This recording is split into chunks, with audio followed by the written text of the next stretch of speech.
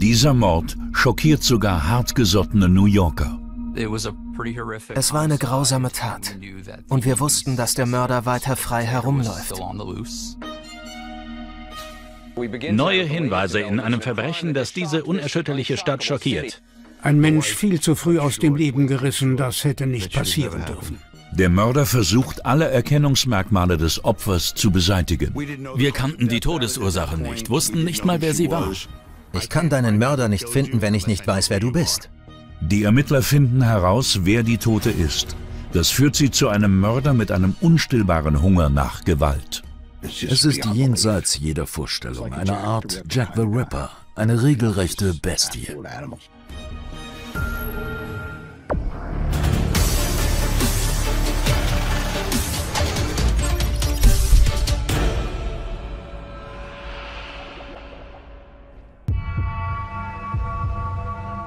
Fernab vom Lichterglanz und dem Strahlen der Hochhäuser gibt es in New York viele sehr abgelegene Seitenstraßen, berüchtigt dafür, dreckig, trostlos und gefährlich zu sein. Am 25. Februar 2006 wird in einer solchen Straße eine Leiche gefunden, etwa 30 Kilometer von Manhattan entfernt. Yes, I found a DOA. It looks like a DOA on Seaview Avenue in Fountain. All right, it's in Brooklyn, right? Oh, yes. And I seen him wrapped up in a sheet. All right. It was a male. Do you see? I don't see it. I didn't see it. Was it body? It looked like a body wrapped in a sheet, yes. All right. You want to leave a name and number, sir? Uh, no, I'd rather leave a name and number. I don't want to get involved. All right, sure. Die Rettungskräfte erwartet ein furchtbarer Anblick. Das Opfer ist eine junge Frau um die 20. Das Opfer war nackt und in eine Decke gewickelt. Ihre Hände waren mit Kabelbindern hinter ihrem Rücken gefesselt. Der Kopf des Opfers ist mit Paketband umwickelt. Eine Art Tuch ist in ihren Mund gestopft und ein Großteil der Haare ist abgeschnitten. Der Mörder hat offenbar versucht, seine Spuren zu verwischen. Er wusste offenbar, wie man einen Tatort säubert. Er hat ihre Fingernägel geschnitten, damit dort keine DNA gefunden werden kann. Um ähm, vielleicht verursachte Spuren äh, zu eliminieren, kann es durchaus sinnvoll sein, ähm, zum Beispiel die Nägel zu schneiden. Wenn das Opfer nämlich im Rahmen von Abwehrhandlungen gekratzt hat und meine Hautzellen jetzt unter dem Fingernagel sind, dann macht es Sinn, die da rauszukratzen oder die Fingernägel ganz abzuschneiden.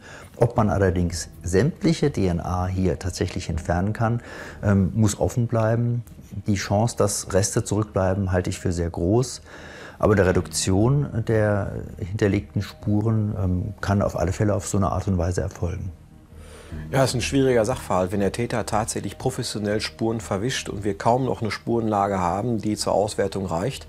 Wir gehen in die Vortatphase und schauen, warum ist das Opfer eigentlich Opfer dieser Straftat geworden? Wovon hing das ab? War es ein Zufallsopfer? War das geplant? Und wir schauen auch, ob der Täter in der Vortatphase Fehler gemacht hat. In der Gegend gibt es keine Überwachungskameras. Niemand weiß, wer das Opfer ist. Nur die Leiche gibt der Polizei ein paar Hinweise. Mir ist aufgefallen, dass sie Bräunungsstreifen hatte und Latina war. Mitte Februar ist es hier sehr kalt. Also kam sie entweder gerade von einem sonnigen Ort oder sie stammte gar nicht aus der Gegend. Neben der Leiche liegt eine Schneebürste. Ob die mit dem Mord zusammenhängt, ist unklar. 48 Stunden nach dem Fund der Leiche meldet sich eine Frau bei der Polizei und sagt, dass ihre Freundin Imet St. Gian verschwunden ist. Sie sagte, dass Imet am Tag vor ihrem Verschwinden aus Florida zurückgekehrt sei. Das ließ die Ermittler sofort aufhorchen, denn das Opfer war ja braun gebrannt. Jetzt.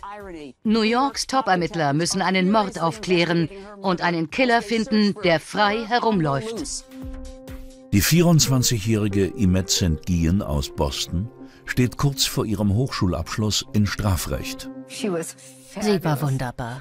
Eine wunderbare junge Frau. Ein unsagbarer Verlust. Wenn dein Kind stirbt, stirbst du auch. Ein Teil von dir wird nie wieder lebendig sein. Imets Autopsieergebnisse bestätigen, sie starb auf grausame Art und Weise. Sie hatte Verletzungen im Intimbereich. Das spricht dafür, dass es sich um ein Sexualverbrechen, vielleicht eine Vergewaltigung handelt. Sie hatte eine Socke in ihrem Mund, die ihre Zunge in ihren Rachen gedrückt hat. Das hat sie umgebracht. Wir werden also keine klassische Tatwaffe finden, keine Patronen oder ähnliches. Unfassbar. Es gibt keine Spur fremder DNA an ihrem Körper. Ein Sexualverbrechen begehen und jede Spur von DNA beseitigen, das dauert Stunden. Imets Mörder muss das an einem sicheren Ort getan haben. Der Fundort der Leiche kommt dafür nicht in Frage. Es war so zeitaufwendig mit dem Kabelbinder, dem Klebeband, der Kordel um die Decke. Es hätte zu lange gedauert, das vor Ort zu tun. Die Ermittler müssen jetzt nicht mehr nur einen Täter finden, sondern auch einen neuen Tatort. Die Ermittler sind entsetzt, weil der Mörder offenbar sämtliche fremde DNA von Imet St. Giens Körper entfernen konnte. Aber er hat nicht an alles gedacht. Das Klebeband und die Decke, in die ihr Körper eingewickelt ist, sind ergiebige Quellen für Forensiker wie Nick Petreco. Er findet rote Teppichfaser auf beidem. Billiges, gefärbtes Nylon von einem Teppich. Zufälligerweise habe ich genau solche Fasern schon in anderen Fällen untersucht und weiß, zu welcher Art Teppich sie gehören. Unter dem Mikroskop entdeckt Petreco auch Tierhaare. Da waren Nerzhaare, die mussten eine Rolle spielen. Er findet außerdem Kaninchenfell, wie es in Mänteln vorkommt, und einen kleinen Blutstropfen auf den Kabelbindern, die als Fesseln benutzt wurden. Auf der Schneebürste, die neben dem Opfer liegt, befindet sich eine DNA-Spur. Die Probe auf der Schneebürste war sogenannte Kontakt-DNA, also DNA, die beim Berühren des Gegenstandes zurückgelassen wird. Das sind dann meistens Hautschüppchen, die von den Fingern abgegangen sind, aber da kann sich natürlich auch Sekret, wenn man vorher sich im Ohr gekratzt oder im Auge gejuckt hat, dann kann man auch Sekret antragen. Touch bedeutet hier letztendlich die Entstehung der Spur. Die Forensiker untersuchen akribisch die Decke, in die die Leiche eingewickelt ist. Sie nutzen dazu ein UV-Licht, das Körperflüssigkeiten sichtbar macht. Und tatsächlich leuchtet ein Fleck auf, der sich als Samenflüssigkeit herausstellt. Die Samenspur war nur noch sehr schwach. Wir gingen deshalb davon aus, dass es sich um einen sehr alten Fleck handeln musste. Mit diesem Wissen gehen die Ermittler noch einmal Imets letzte Nacht durch. Ein Freitag kurz vor ihrem 25. Geburtstag. Sie ist mit Freunden aus, darunter ihre beste Freundin Claire. Es war spät, fast schon 4 Uhr morgens. Sie waren gerade aus dem Urlaub zurück und Claire wollte heim. Aber Imet wollte noch nicht gehen. Claire versuchte alles, um Imet ins Taxi nach Hause zu bekommen. Aber Imet war nicht zu bremsen und verschwand in der Nacht. Die Polizei hofft zunächst, dass Überwachungskameras Imets Weg aufzeichnen. Aber anders als heute waren solche Kameras 2006 eher selten. Ein Video hätte schon sehr dabei geholfen, Imets Weg zu rekonstruieren. Aber die Überprüfung von Imets Kreditkarte ergibt, dass sie zwei Getränke in einer Bar namens The Falls bezahlt. Die Ermittler müssen einen richterlichen Beschluss haben, um dann bei dem Kreditkartenanbieter Visa, Mastercard oder was es sonst noch gibt, entsprechend die Daten zu erfragen und sehen dann, wann, wo der Zugriff war, wann dort Umsätze getätigt wurden. Die Zahlung erfolgte um Viertel nach vier, kurz bevor Bars in New York City schließen müssen. Also 17 Stunden bevor ihre Leiche gefunden wird. Die Ermittler müssen herausfinden, was in diesem Zeitraum passiert. Das Problem dabei, es gibt mehrere Tatorte. Irgendwo überwältigt der Mörder Imet, irgendwo missbraucht er sie, tötet sie und entfernt anschließend die DNA-Spuren von ihrer Leiche. Und er braucht ein Auto, um zu diesen Orten zu gelangen. Auch das ist nirgendwo zu finden. Es gab kaum genug Beweismaterial, um überhaupt weiter zu ermitteln. Außer der Leiche gab es kaum Anhaltspunkte. Keine Gegenstände oder Orte, auf die man sich bei der Ermittlung konzentrieren konnte.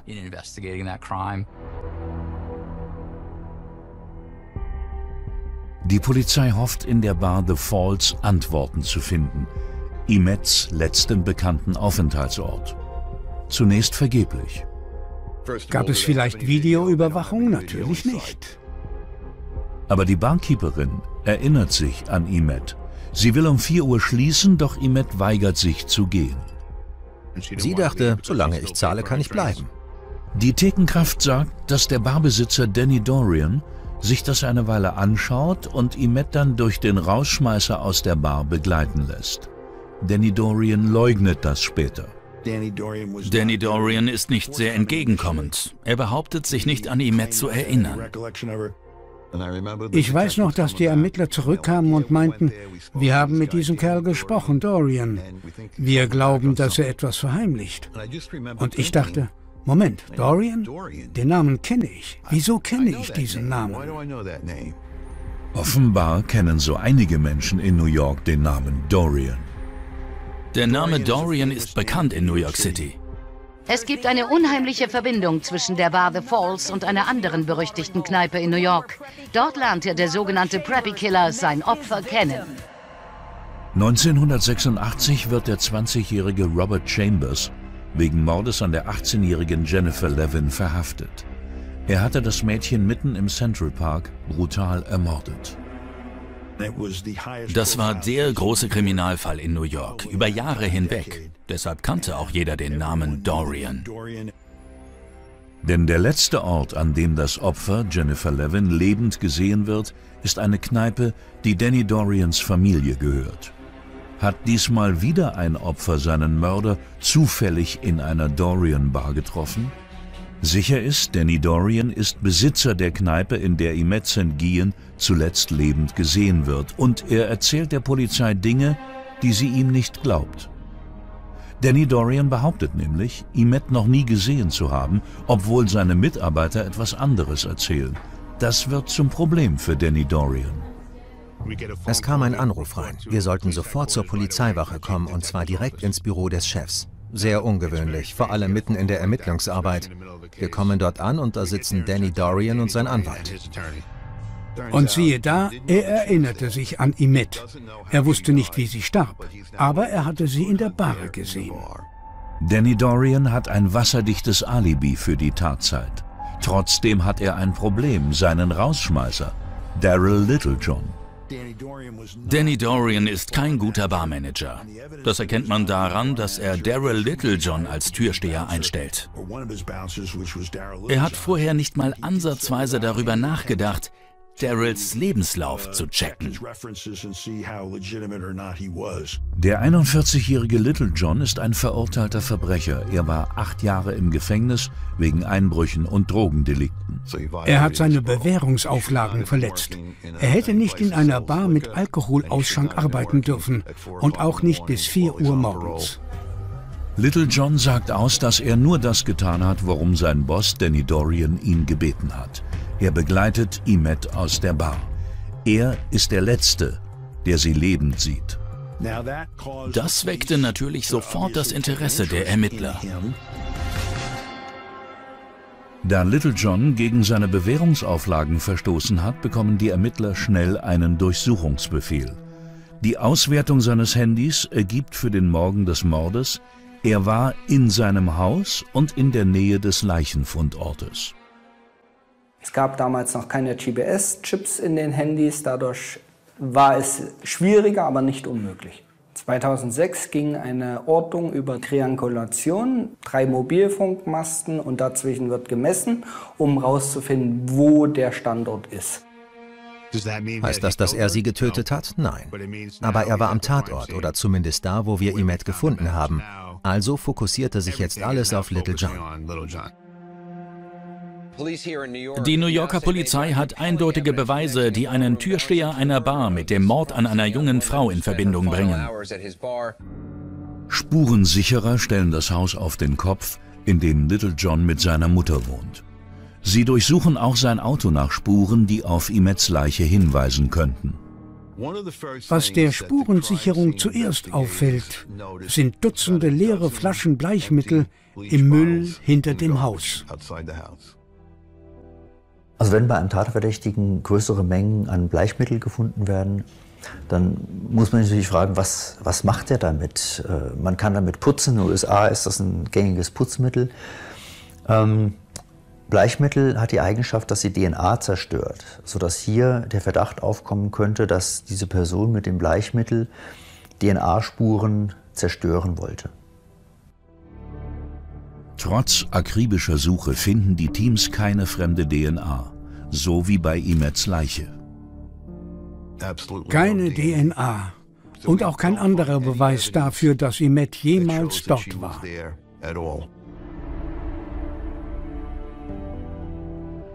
Wenn Daryl Littlejohn Imets Mörder ist, hat er bei der Reinigung mehrerer Tatorte beängstigend gute Arbeit geleistet. Aber nach einem mehr als 100 Jahre alten forensischen Lehrsatz, dem sogenannten Lokar-Austauschprinzip, ist es unmöglich, einen Tatort vollständig zu reinigen. Es geht zurück auf Dr. Edmond Lucas aus Frankreich. Sein Lehrsatz besagt, dass man immer Spuren finden kann. Irgendjemand lässt immer irgendetwas zurück. Kurzum, wenn du es nicht findest, ist es deine Schuld. Es ist da. Tatsächlich gibt es winzige Spuren, die das Rätsel lösen könnten, was mit Imet St. Gien geschah. Zu den wichtigsten Spuren am Fundort von Imet St. Giens Leiche gehören rote Teppichfasern und Tierhaare von Nerz und Kaninchen. Um herauszufinden, wo es passiert ist, hatten wir nur diese winzigen Spuren. Und als Daryl Littlejohn verdächtigt wird, suchen Kriminaltechniker sofort nach diesen Haaren und Fasern.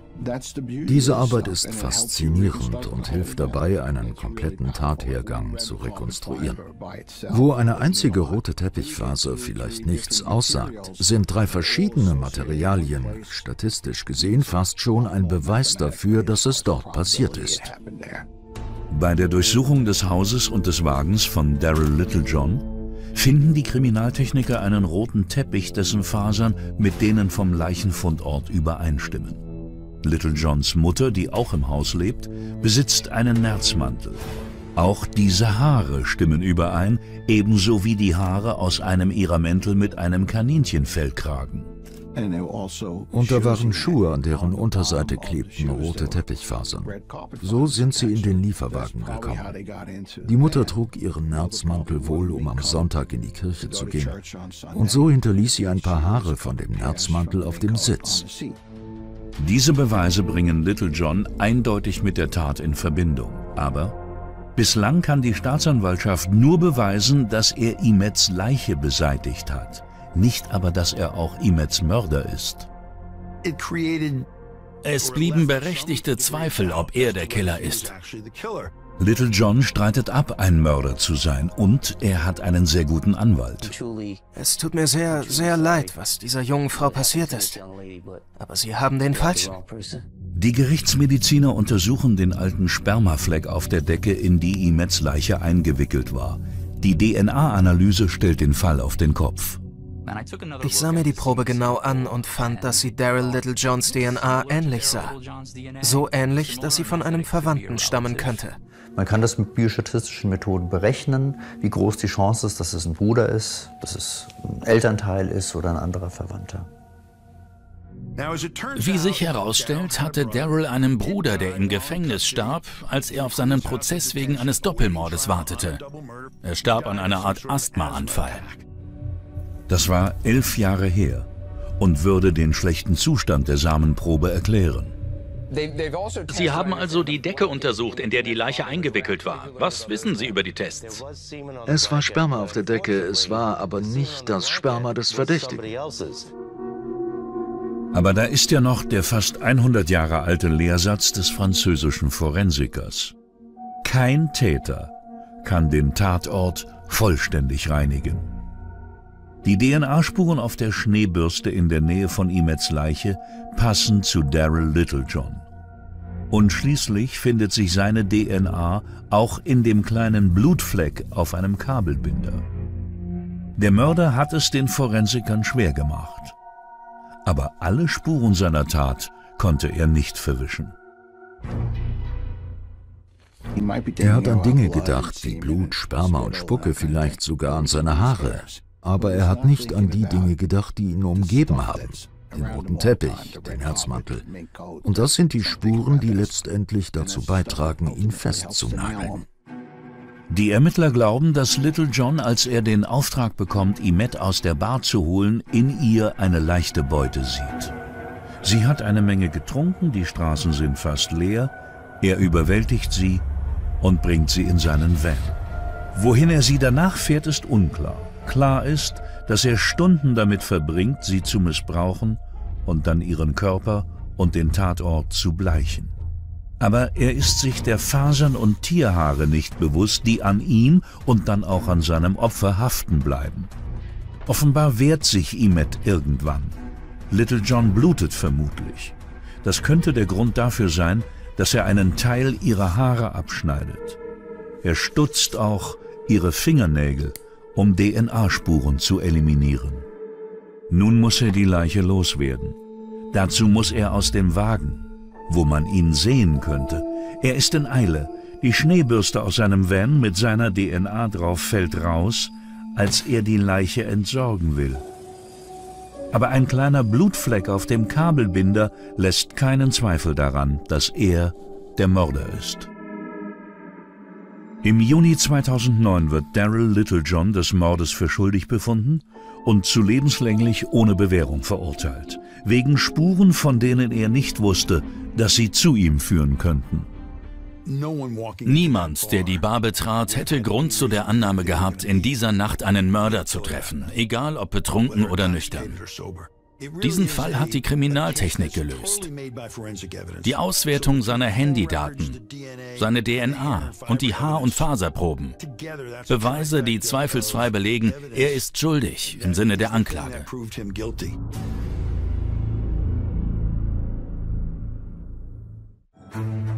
Nach einem Geschäftstermin verschwindet ein Mann. Für immer. Es war ein ganz normales Treffen. Danach war alles anders. Seine Entführer scheinen zu allem bereit. Der Erpresser war ganz deutlich.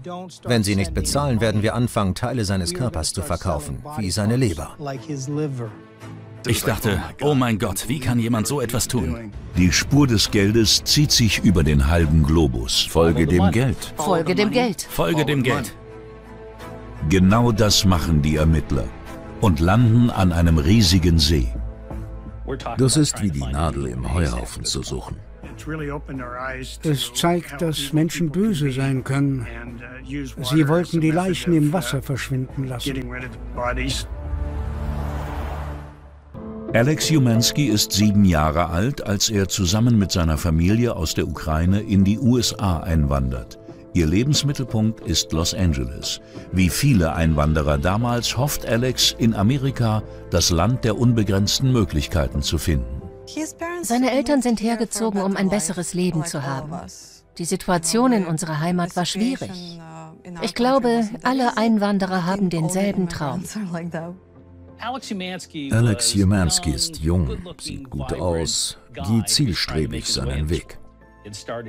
Er gründet sein eigenes Unternehmen. Die Idee? Einbau von ausgefallenem Zubehör, wie Fernseher oder Kameras in Autos. Alex Geschäft startet durch. Privat verliebt er sich in eine Frau aus der Ukraine. Ich habe mich in seine Persönlichkeit verliebt. Wir haben uns verlobt, wollten heiraten. Erst gerade eben habe ich ein Video unserer Verlobungsfeier angesehen. Das Haus war voll, alle haben getanzt und gesungen. Am Abend des 12. Dezember 2001 bekommt Alex einen vielversprechenden Anruf. Ein neuer Kunde mit viel Geld.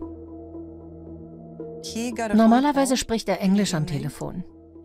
Er konnte auch Russisch, nur war sein Englisch besser. Plötzlich hat er Russisch gesprochen. Es schien ein gutes Gespräch zu sein. Als er aufgelegt hat, war er sehr aufgeregt. Der neue Kunde will eine hochmoderne Stereoanlage in das Auto seiner Frau einbauen lassen, für eine Menge Geld. Alex sagte, Geld spielt für den Mann keine Rolle. Ein Volltreffer für jeden Unternehmer. Das war genau sein Ding. Sein Geschäft war wie sein Baby. Alex und der Kunde verabreden ein Treffen am nächsten Tag. Nach diesem Treffen kommt Alex nicht nach Hause, ist nicht mehr zu erreichen. Es herrschte einfach Funkstille. Alle haben versucht, ihn irgendwie zu kontaktieren. Es war sehr ungewöhnlich, dass er komplett unerreichbar war. Seine zwei Manager haben mich angerufen. Wir können ihn einfach nicht erreichen, wir wissen nicht, was passiert ist. Ich habe es auch bei ihm versucht, aber keiner hat ihn erreicht. Am nächsten Morgen fährt Alex Vater in die Firma, um zu sehen, ob er dort ist. Alex ist nicht da, dafür etwas Ungewöhnliches. Sein Vater findet ein Fax, eine Rechnung mit einer Zahlungsaufforderung über 234.628 Dollar. Der Absender ist eine ihm unbekannte Firma. Zur gleichen Zeit erhält Alex Bruder Michael in San Francisco ein ähnliches Fax.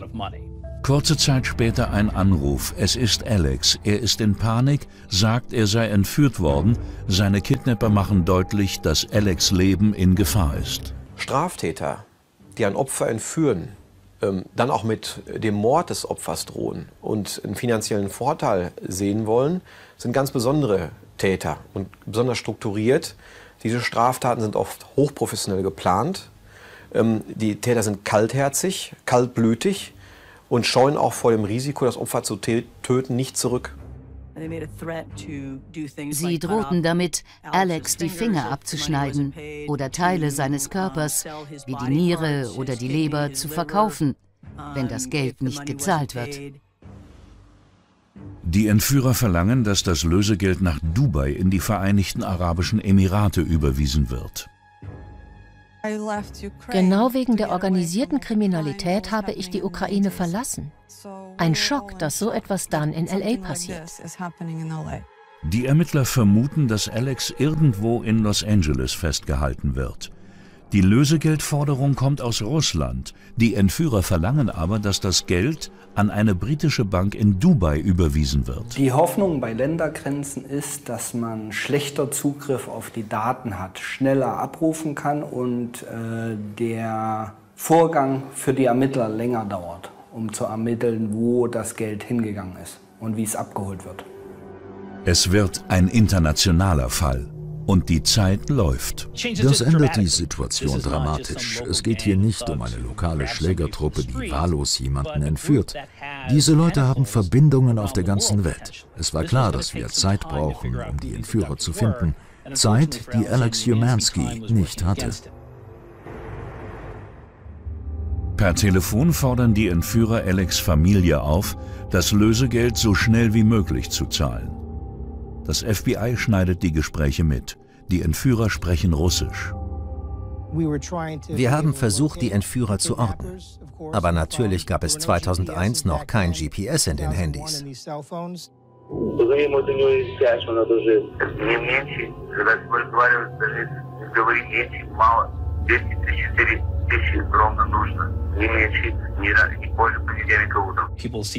Menschen sehen Fernsehsendungen und denken, man kann die Anrufe doch zurückverfolgen. Aber so einfach ist das nicht. Es sind nur kurze Gespräche von Prepaid-Handys. Und die wurden unter falschen Namen und Adressen gekauft. Familie Jumansky kann den verlangten Betrag nicht komplett zahlen. Sie überweisen 90.000 Dollar auf das Konto in Dubai mit dem Versprechen, dass mehr Geld kommt. Wir wollten Gewissheit, dass es Alex gut geht. Er durfte kurz ans Telefon. Er war am Leben. Das ist nicht der einzige Hoffnungsschimmer. Einer der mutmaßlichen Entführer benutzt Alex Bankkarte, keine 24 Stunden nach seinem Verschwinden. Eine Überwachungskamera nimmt diesen Mann auf. Er hielt sich die Hand auf die Nase, um sein Gesicht zu verdecken. Er wusste, dass er beim Geldabheben gefilmt wird. Im Hintergrund ist ein heller Geländewagen zu sehen. Die Bauart des weißen SUV ist zu erkennen, das Nummernschild nicht. Ein weiteres Problem? Es gibt tausende solcher Fahrzeuge im Großraum Los Angeles. Es ist ein Wettlauf gegen die Zeit, Alex zu finden, bevor er ermordet wird. Dann eine überraschende Wendung. Alex Jumanskis Vater macht eine merkwürdige Entdeckung. Das Suchplakat einer vermissten Frau macht ihn stutzig. Alex Vater, Reuven, sieht die Vermisstenanzeige und findet es seltsam, dass ausgerechnet zwei Osteuropäer verschwunden sind. Er berichtet dem FBI von seiner Beobachtung. Die 39-jährige Rita Peckler verschwindet eine Woche vor Alex Jumansky. Rita ist russische Staatsbürgerin, wie Alex eingewandert und mit engen Verbindungen zur Immigrantengemeinschaft in Südkalifornien. Das ist doch sehr seltsam, dass eine Russin und ein Ukrainer in diesem kleinen Gebiet von Los Angeles vermisst werden. Aber bei Rita Packler gab es keine Lösegeldforderung. Warum wurde sie dann gekidnappt? Und wo ist die Verbindung zwischen Packler und Jimansky, zwei Menschen, die sich noch nie begegnet sind? Die Ermittler hören Gerüchte über weitere entführte Immigranten. Konkret erfährt das FBI von zwei russischsprachigen Personen, die gekidnappt wurden. George Safiev und Nick Karabazi, Chefs einer Filmproduktionsfirma. Das Unternehmen hat seinen Sitz im Großraum Los Angeles. Hier wurden die beiden das letzte Mal gesehen. Und hier gibt es eine direkte Verbindung zu Rita Peckler. Sie ist eine Angestellte der beiden. Rita Peckler war ihre Buchhalterin. Vier potenzielle Opfer, alle mit Verbindungen zur ehemaligen Sowjetunion, die kurz vor ihrem Verschwinden mit russischsprachigen Personen zu tun hatten. So viele Fragen und kaum Antworten. Priorität ist, die Vermissten zu finden und das hoffentlich lebendig. Vier Menschen aus dem Raum Los Angeles werden entführt. Die US-Beamten ermitteln zusammen mit Kollegen auf der ganzen Welt. Alle sind sich einig, wie man die Entführer am besten ausfindig macht. Für diese Art Ermittlungen haben wir einen alten Lehrsatz. Folge dem Geld. Was für uns alle so ungewöhnlich war an diesem Fall, das Lösegeld sollte ins Ausland überwiesen werden. Den Agenten bleibt im Grunde nur eine Spur, die Spur des Geldes. Weltweite Überweisungen werden fast ausschließlich elektronisch abgewickelt. Das System ist so gestaltet, dass es transparent ist. Aber manche Länder schauen bei solchen Transaktionen nicht so genau hin. Anscheinend hoffen die Entführer, dass die Vereinigten Arabischen Emirate dazugehören. Das war unbekanntes Terrain. Wir haben kein Abkommen mit den Arabischen Emiraten. Aber die Behörden der Emirate unterstützen die US-Ermittlungen. Diese Zusammenarbeit hat dem FBI geholfen, die Entführer zu identifizieren. Das FBI und die Ermittler in Dubai finden die Bank, an die das Lösegeld geschickt wird. Zwei Männer aus Russland werden beim Abheben des Geldes festgenommen. Es stellte sich heraus, dass sie nichts von dem Lösegeld wussten. Sie wurden angeheuert, um das Geld abzuheben. Uh, das war's. Uh, die Männer kooperieren sofort, geben alle Informationen und Unterlagen zu ihrem Auftrag weiter. So finden die Ermittler schließlich heraus, für wen das Lösegeld wirklich bestimmt ist. Das Geld sollte zurück nach Los Angeles. Empfänger ist ein kleines Geschäft für Aquariumbedarf namens Design Waterworld. Design Waterworld ist ein kleiner Laden, der Juri Mikel und Euregis Kadamovas gehört. Juri Mikel stammt ursprünglich aus Moskau, ist vorbestraft. Euregis Kadamovas wurde in Litauen geboren. Es wurde nie gegen ihn ermittelt. Beide scheinen weit über ihre Verhältnisse zu leben. Sie besaßen zahlreiche Häuser in der Gegend. Michael lebte in Encino in einem wirklich schönen Haus in den Bergen. Es stellte sich also die Frage, wer diese beiden Menschen wirklich waren. Das Finanzgebaren von Opfern und Tätern äh, ist immer wieder Spiegelbild ihres eigenen Lebens. Ähm, das liefert Hinweise, wie sie leben, teilweise auch Hinweise auf das Motiv, nämlich die Habgier. Deswegen stehen sie immer im Fokus, aber auch diese Ermittlungen bedürfen besonderer Expertise und natürlich in der Gesetzeslage mit entsprechenden Wirtschaftsbeteiligten auch zusammenarbeiten zu dürfen, um die Daten dann auch zur Verfügung gestellt zu bekommen. Die Telefone der beiden werden abgehört und alle geschäftlichen Aktivitäten überprüft. Die Ermittler werden dabei auf den Angestellten einer Altmannes aufmerksam, selbst Immigrant aus den ehemaligen Sowjetgebieten. Sie beschatteten Altmanis tagelang. Er fuhr einen weißen Lincoln Navigator, das gleiche Auto wie auf dem Überwachungsvideo des Geldautomaten bei der Umansky-Entführung. Ist der Mann auf dem Video tatsächlich einer Altmanes? Es ist unmöglich, das zu beweisen, aber da das Leben der Geiseln in Gefahr ist und es genug Hinweise gibt, durchsuchen die Behörden das Unternehmen der mutmaßlichen Entführer und werden fündig. 19 Durchsuchungsbefehle wurden an einem Tag vollstreckt und dabei jede Menge Beweise gesammelt. Waffen, Schalldämpfer, Dimetrol, das zur Betäubung der Opfer verwendet wurde, Bankunterlagen mit vielen Überweisungen, die später den Lösegeldzahlungen zugeordnet werden konnten. Juri Mikkel, Julius Katmovas, einer Altmanes und ein weiterer Mann werden festgenommen. Die Ermittler sind sich jetzt sicher, die Entführten wurden ermordet. Nur ohne Leichen ist es schwer, die Morde zu beweisen. Sie hatten viele Indizien und Beweise, aber keine Leichen. Die Chancen für eine Verurteilung in einem Mordfall ohne Leiche stehen schlecht. Im Februar 2002 werden die vier Männer im Zusammenhang mit den Entführungen verhaftet.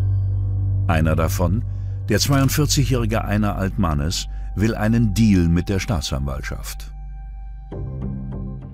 Wenn man mit Netzwerken zu tun hat und Netzwerke ermittelt, gibt es immer einen kaskadischen Aufbau. Es gibt Menschen, die von Straftaten enorm profitieren und manche, die weniger profitieren.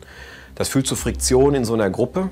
Und wir suchen uns gezielt bewusst die Personen, die fragil sind, die am wenigsten von der Straftat profitieren, vielleicht aber auch nur Teilbereiche dieser Straftat selber begangen haben und versuchen, die dann in den Fokus äh, der Ermittlung zu rücken, weil wir wissen, dass wenn es uns gelingt, hier entsprechende Aussagen zu generieren, Zeugenaussagen zu generieren, dann erst der Schritt möglich ist, die Spitze eines solchen Netzwerks im Bereich der Kriminalität anzugreifen. Bei der Vernehmung von Altmanis wollen die Agenten vor allem eins wissen. Wo sind die Opfer? Was ist mit den Opfern passiert? Und er schlug die Hände auf den Tisch, sagt, ich weiß alles. Schließlich gesteht er, sie sind weg. Sie sind alle weg. Altmanes erklärt, dass sie die Opfer im New Melones Reservoir versenkt haben, einem Stausee, ca. 500 Kilometer nördlich von Los Angeles. Es ist einer der größten Stauseen Kaliforniens, fast 100 Meter tief.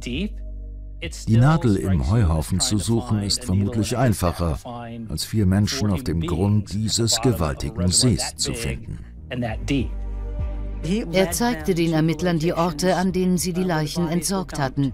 Sie brachten sie bis nach Nordkalifornien und warfen die Leichen von zwei Brücken aus in den See, beschwert mit Gewichten.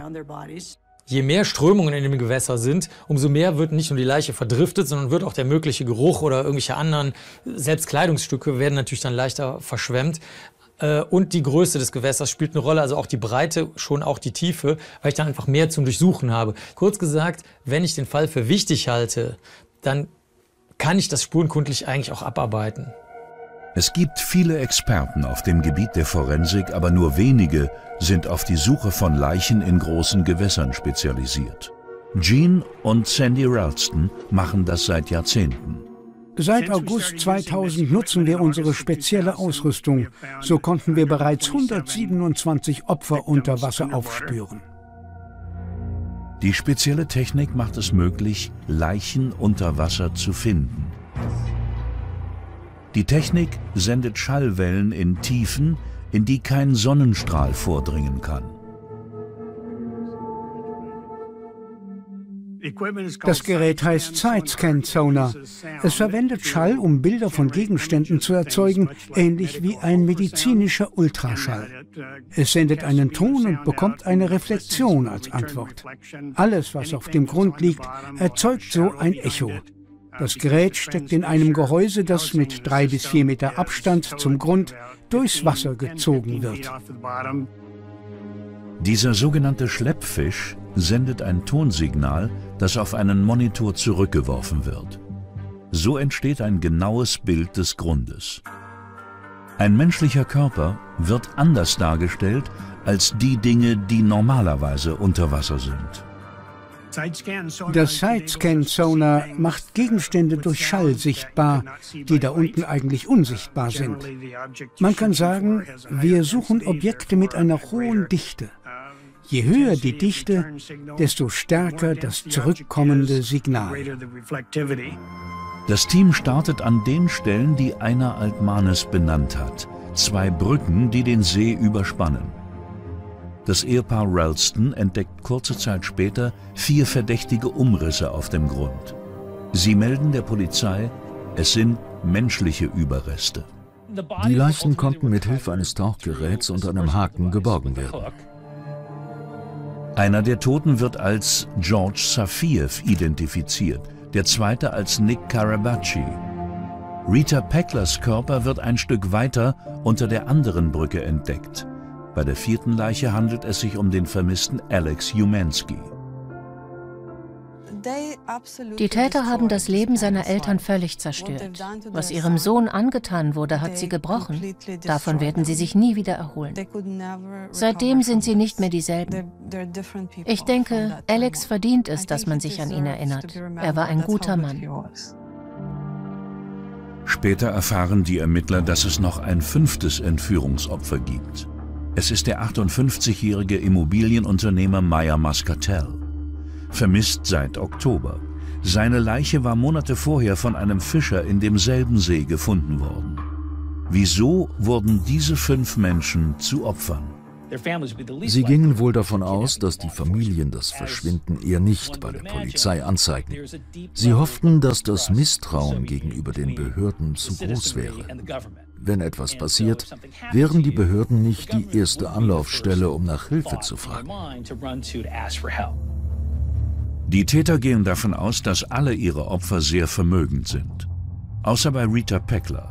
Sie wird nur entführt, um ihre Chefs zu ködern. Die Opfer müssen nur aus einem Grund sterben. Habgier. Mehr als eine Million Dollar werden insgesamt bezahlt. Dieses Blutgeld war ihr Einkommen, ihr Lebensunterhalt. Und dieses Geld konnte zurückverfolgt werden. Mühsam und nur mit Hilfe des FBI und der Steuerbehörde IRS. Die Täter hatten sich Luxusgüter davon gekauft, wie einen Ferrari und andere Autos, Nerzmäntel und Immobilien. Die Staatsanwaltschaft geht davon aus, dass Alex Jumensky und die anderen Opfer zu den Treffen gehen, weil sie auf ein gutes Geschäft hoffen.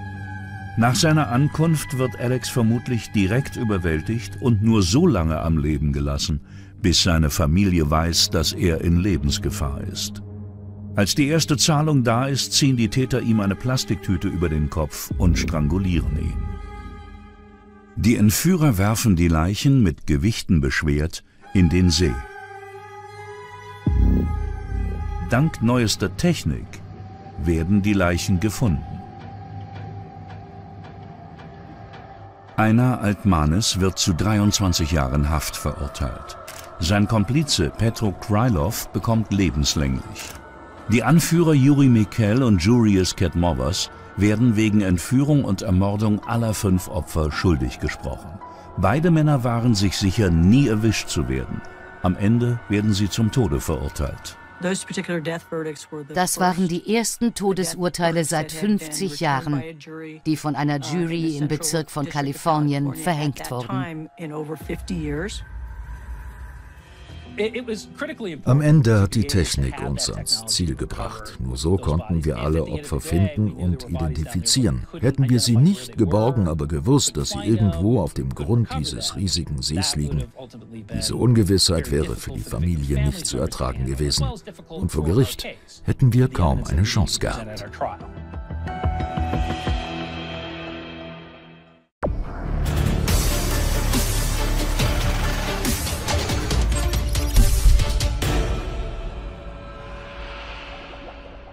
Und das, äh, daraus ziehen sie auch wirklich Genuss. Und das wird wirklich zu einem zentralen Punkt ihres Lebens. Gordon bestreitet, jemals im Haus von Margaret Eby gewesen zu sein. Dann konfrontieren ihn die Beamten mit dem Fingerabdruck. Wissen Sie, woher der Abdruck stammt? Nein. Er stammt aus dem Bad neben dem Schlafzimmer, in dem Margaret Eby gefunden wurde. Das Haus, in dem Sie nie gewesen sein wollen. So, Jeff, es gibt keine Zweifel. Sie sind die Person, die für alles verantwortlich ist. Die Frage, die beantwortet werden muss, ist, warum? Und was können wir tun, um Ihnen zu helfen? Da gibt es kein Warum, weil ich es nicht gewesen bin. Danke, ich möchte jetzt meinen Anwalt sehen. Ich weiß, dass ich nichts getan habe. Als Gordon nach seinem Anwalt fragt, stoppt das Verhör. Vorher nehmen die Ermittler noch seine DNA. Die DNA-Analyse bestätigt, was der erste Test vermuten ließ. Jeffrey Gordon hat Nancy Ludwig und Margaret Eby sexuell missbraucht und vermutlich auch ermordet. Während der Auswahl der Geschworenen zeigt Gordon auffälliges Interesse an einer Frau, die den beiden Mordopfern sehr ähnlich sieht. Er starrte immer in die Richtung, in der diese Frau saß. Sie trug einen Rock. Er war total auf diese Frau fixiert und wand sich auf seinem Sitz. Das war das Seltsamste, was ich je gesehen habe. Und ich dachte, na, das wird ein spaßiger Prozess. Die Ankläger vermuten, dass Gordon durch eine unverschlossene Tür in Margaret Ebys Haus eingedrungen ist und dort auf sie gewartet hat. Als sie von einer Dinnerparty zurückkehrt, ermordet er sie.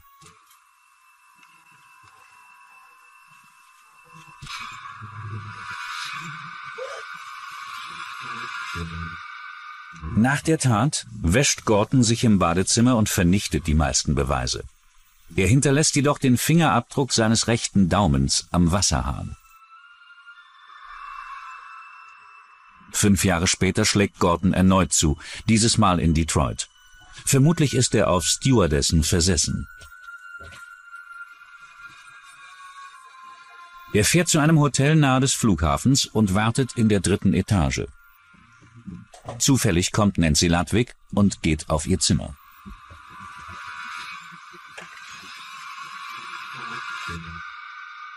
Nach der Tat duscht er, wechselt seine Kleidung und stiehlt Nancy's Sachen, vermutlich als Trophäe.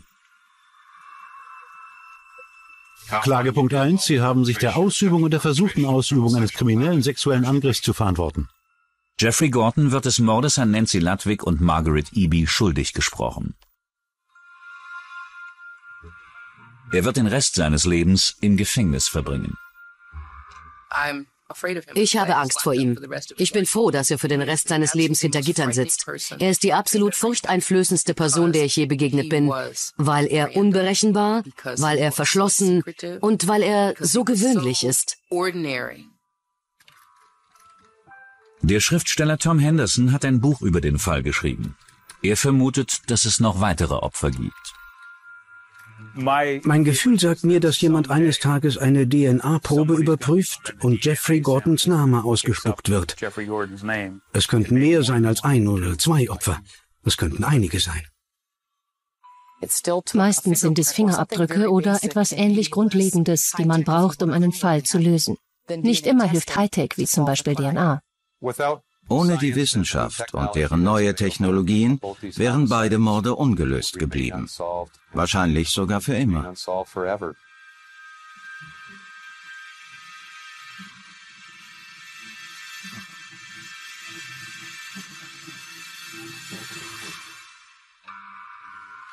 Als ein Bootskapitän nach einem heftigen Sturm tot aufgefunden wird, sagen einige, es war ein tragischer Unfall. Ein Augenzeuge behauptet, es war Mord. Doch erst diese Videoaufzeichnung wirft die Frage auf, wer sagt tatsächlich die Wahrheit? Venice, Louisiana. Hier findet das Leben um das Wasser herum statt. Die kleine Stadt ist der Ort, an dem der Mississippi in den Golf von Mexiko mündet. Einheimische nennen es das Ende der Welt. Jeder kennt das Geschäft des anderen, gute wie schlechte. Einige Leute mögen es, einige nicht. Ich mag es. Viele Leute aus Venice verdienen ihr Geld mit dem Shrimpfischen. Das ist harte, gefährliche Arbeit. Die See kann dabei Freund und Feind sein. Es ist rau. Und die Leute sind rau. Das ist keine freundliche Gemeinde. Es gibt Spannungen. Es gibt Ärger zwischen den Freizeitanglern und den Vollzeitfischern, die davon leben.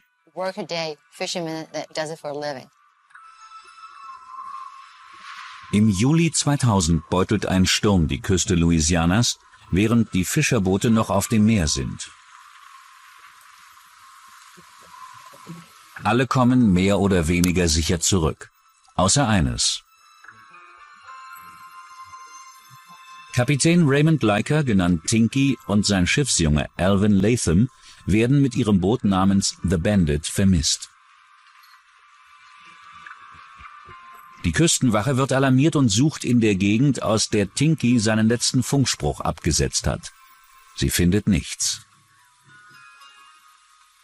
14 Stunden später zieht ein vietnamesischer Trawler einen Mann aus dem Golf, der sich an ein Stück Holz geklammert hat.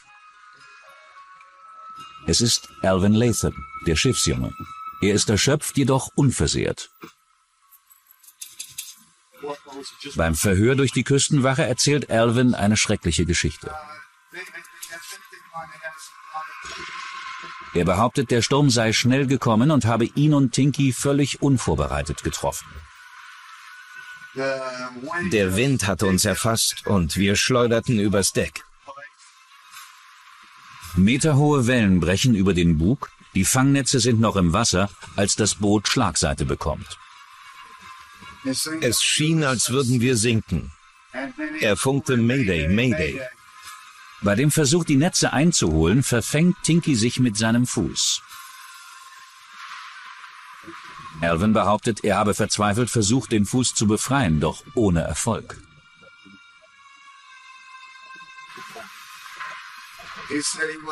Er sagte, er würde es nicht schaffen und bat Gott, seinen Sohn zu beschützen.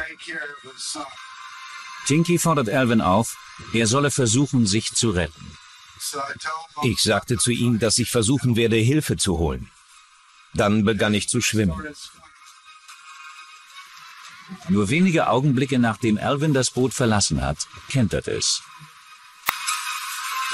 Das Boot begann zu sinken. Alvin behauptet, er habe ein Stück Holz zu fassen bekommen und sei 14 Stunden bis zu seiner Rettung geschwommen. Ich habe alles versucht, um meinen Kopf über Wasser zu halten. Das Schwimmen kam mir wie eine Ewigkeit vor. Das war seine Geschichte. Er versuchte, seinen Kapitän zu retten. Das war rührend und reizend. Das hätte jedem passieren können. Doch Alvin will keine Lorbeeren. Ich sehe mich nicht als Held. Es misslang, was ich tat. Ich konnte keine Hilfe für ihn holen. Einige Tage später findet die Küstenwache Tinkys Leiche im Golf von Mexiko. Alvin Latham bleibt weiterhin bei seiner Aussage, es sei ihm nicht möglich gewesen, Tinky zu retten. Er ging herum und erzählte, was er für ein Held wäre. Er habe den Sturm überlebt und solche Sachen. Doch als der Coroner, der Leichenbeschauer, seine Routineuntersuchung macht, findet er Hinweise, die Alvins Geschichte widersprechen. Er hatte Verletzungen am Kopf und sein linker Arm war teilweise amputiert. Der Coroner findet außerdem fünf Stichwunden an den Armen. Das könnten Abwehrverletzungen sein, wie sie bei einem Messerangriff entstehen. Abwehrverletzungen finden sich typischerweise im Bereich der Arme. Und zwar dann, wenn das Opfer versucht, Schläge, Stiche oder ähnliches abzuwehren. Und wir unterscheiden dann zwischen aktiven und passiven Abwehrverletzungen. Bei den passiven eben dann, wenn man die Arme zum Schutz hochnimmt. Zudem findet der Coroner stumpfe Verletzungen am Schädel des Toten. Tinky Likers Tod wird daraufhin zum Mord erklärt. Jemand hat Raymond Leiker getötet. Alvin Latham war der Einzige, von dem wir wissen, dass er auf dem Boot war. Als Alvin nach seiner Rettung von der Küstenwache interviewt wurde, hat er nichts von Stichwunden oder einer Kopfverletzung gesagt. Deshalb bittet ihn die Polizei ins Präsidium, um diese Diskrepanz zu erklären. Dann begann sein Weg ins Gefängnis. Er sagte, ihr habt die Leiche gefunden. Ich antwortete, ja, haben wir. Hm, dann bin ich wohl in Schwierigkeiten. Die Ermittler zeichnen das Verhör auf. In Alvin Lathams erster Version hatte sich sein Kapitän im Netz verwickelt. Das Boot ist gesunken und er ist daneben geschwommen und hat es untergehen sehen.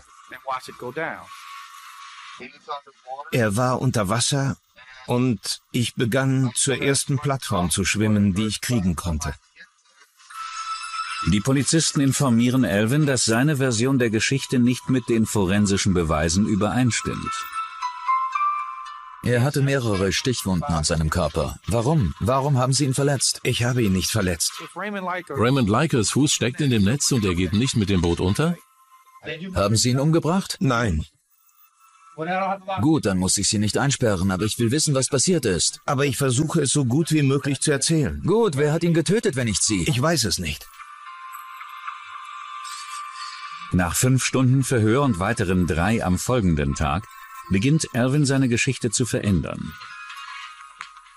Alvin sagte Dinge wie, er fühle sich nicht mehr wohl bei Raymond Leica. Er erzählte Begebenheiten, die ihm auf dem Boot passiert sein sollen. Raymond soll einmal sein Bein berührt haben, das sei ihm unangenehm gewesen. Ich denke, letztlich hatten wir ihn soweit. Wir näherten uns der Wahrheit. Dann begann er uns von der Messerstecherei zu erzählen. Jetzt sagt Elvin aus, er habe Angst um sein Leben gehabt, als das Wasser über den Bug schwappte. Und an Bord gab es nur eine Rettungsweste. Um an die Weste zu kommen, habe er gewartet, bis Tinky ihm den Rücken zugedreht hat. Dann habe er ein Rohr genommen und zugeschlagen. Wie oft haben Sie ihn mit dem Rohr geschlagen? Nur einmal. Dann behauptet Alvin, Tinky sei hinter ihm her, als er versucht habe, die Weste zu nehmen. Daraufhin habe er zu seiner Verteidigung ein Messer benutzt. Ich glaube, ich habe ihm fünfmal in den Arm gestochen. Und dann ging er über Bord.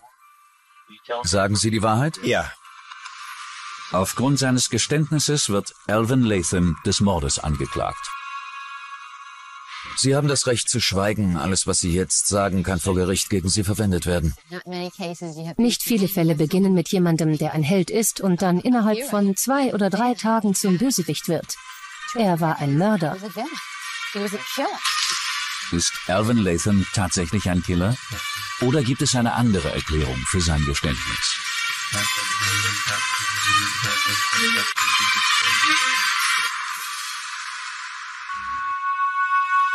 Während Alvin Latham im Gefängnis auf seinen Mordprozess wartet, wird in Venice diskutiert, was wirklich in der Nacht passiert sein könnte, als Tinky Leica starb. Jeder diskutierte. Zwei Personen, eine Rettungsweste. Würde ich verzichten? Sie denken, Sie würden verzichten, aber würden Sie wirklich? Da Alvin ein Mann mit beschränkten finanziellen Mitteln ist, erhält er durch das Gericht einen Pflichtverteidiger, Peter Barbie. Barbie kann nicht verstehen, warum Alvin seinen Kapitän wegen einer Rettungsweste getötet haben soll. Bei seiner Rettung am nächsten Tag hat er nämlich keine getragen. Ich sagte zu Alvin, was immer du machst, erzähl mir die Wahrheit. Wenn du es warst, in Ordnung, dann finden wir eine Lösung, damit umzugehen. Doch was immer du tust, sag mir die Wahrheit. Jetzt erzählt Alvin seinem Anwalt, dass er Tinky nicht getötet hat. Er kehrt zu seiner ersten Version zurück, die er am Tag nach dem Sturm der Küstenwache erzählt hat. Demnach war Tinkys Tod doch ein Unfall. Ich hatte den Geschworenen zu beweisen, dass er schutzlos war und deshalb etwas gestanden hat, was er nicht getan hat. Sie glauben gar nicht, wie weit verbreitet die Meinung in der Bevölkerung ist, dass niemand etwas gesteht, was er nicht auch getan hat. Warum sollte man etwas gestehen, was man nicht getan hat? Um das herauszufinden, zeigt Barbie das achtstündige Verhör Dr. Jill Hayes, einer forensischen Psychologin von der LSU School of Medicine.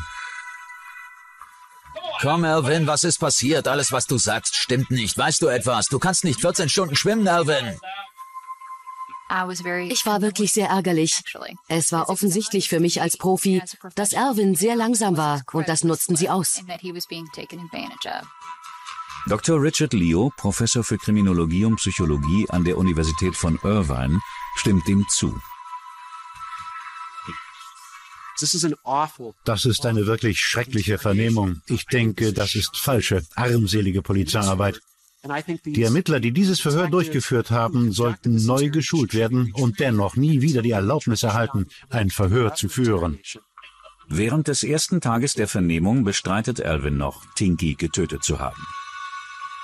Komm, Alvin, was machst du? Sag was, erklär es. Man konnte ganz deutlich die enorme Einschüchterung sehen. Über hundertmal hat Alvin gesagt, dass er es nicht war. Er hat betont, dass er es nicht getan hat. Warum hast du ihn verletzt? Hab ich nicht. Warum hast du ihn verletzt? Hab ich nicht. Die Autopsie beweist es. Du hast ihn mit etwas an die Kehle geschlagen oder auf den Kopf. Du hast nichts falsch gemacht. Ich glaub das nicht. Die Polizisten sagten, Alvin, bis du uns nicht sagst, was wir hören wollen, kannst du nicht nach Hause gehen. Es kann wirklich sein, dass der Druck eines Polizeiverhörs dazu führt, dass, dass der Betroffene eigentlich nur noch raus will. Ähm, er ist eher so geschockt auch und äh, kommt gar nicht mehr zurecht. Und dann sagt man, ich gestehe jetzt erstmal alles, was die wollen. Das wird sich im Nachhinein dann schon klären. Also es wird gar nicht abgesehen, welche Konsequenzen das langfristig haben kann, sondern der Betroffene will nur noch raus und sagt dann auch Sachen, um dieses Ziel zu erreichen. Genau deshalb beginnt Alvin am zweiten Tag der Vernehmung Dinge zu wiederholen, die ihm die Ermittler erzählen. Das ist eines der feindseligsten Verhöre, das ich je gesehen habe. Es gibt nur eine Rettungsweste. Du willst sie und dir ist scheißegal, ob er lebt oder stirbt. Er hat nicht gebetet, du hast uns angelogen. Verhörbeamte im ganzen Land sind geschult, nicht feindselig zu wirken oder sie widersetzen sich den Vorgaben.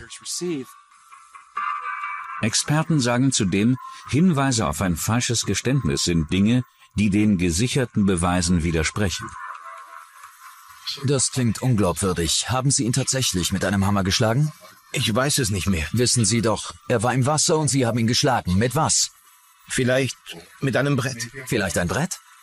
Haben Sie ihn mit dem Brett geschlagen oder haben Sie ihn nicht mit dem Brett geschlagen, Erwin? Ich weiß es nicht. Er war im Wasser und Sie am Heck des Bootes. Was passierte? Sie sind soweit, Erwin. Erzählen Sie den Rest der Geschichte. Ich kenne den Rest der Geschichte nicht. Natürlich kennen Sie ihn.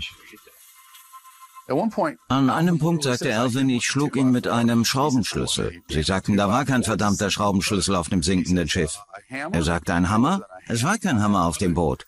Ein Rohr? Okay, ja, das kann sein. Du hast ihn also mit einem Rohr geschlagen.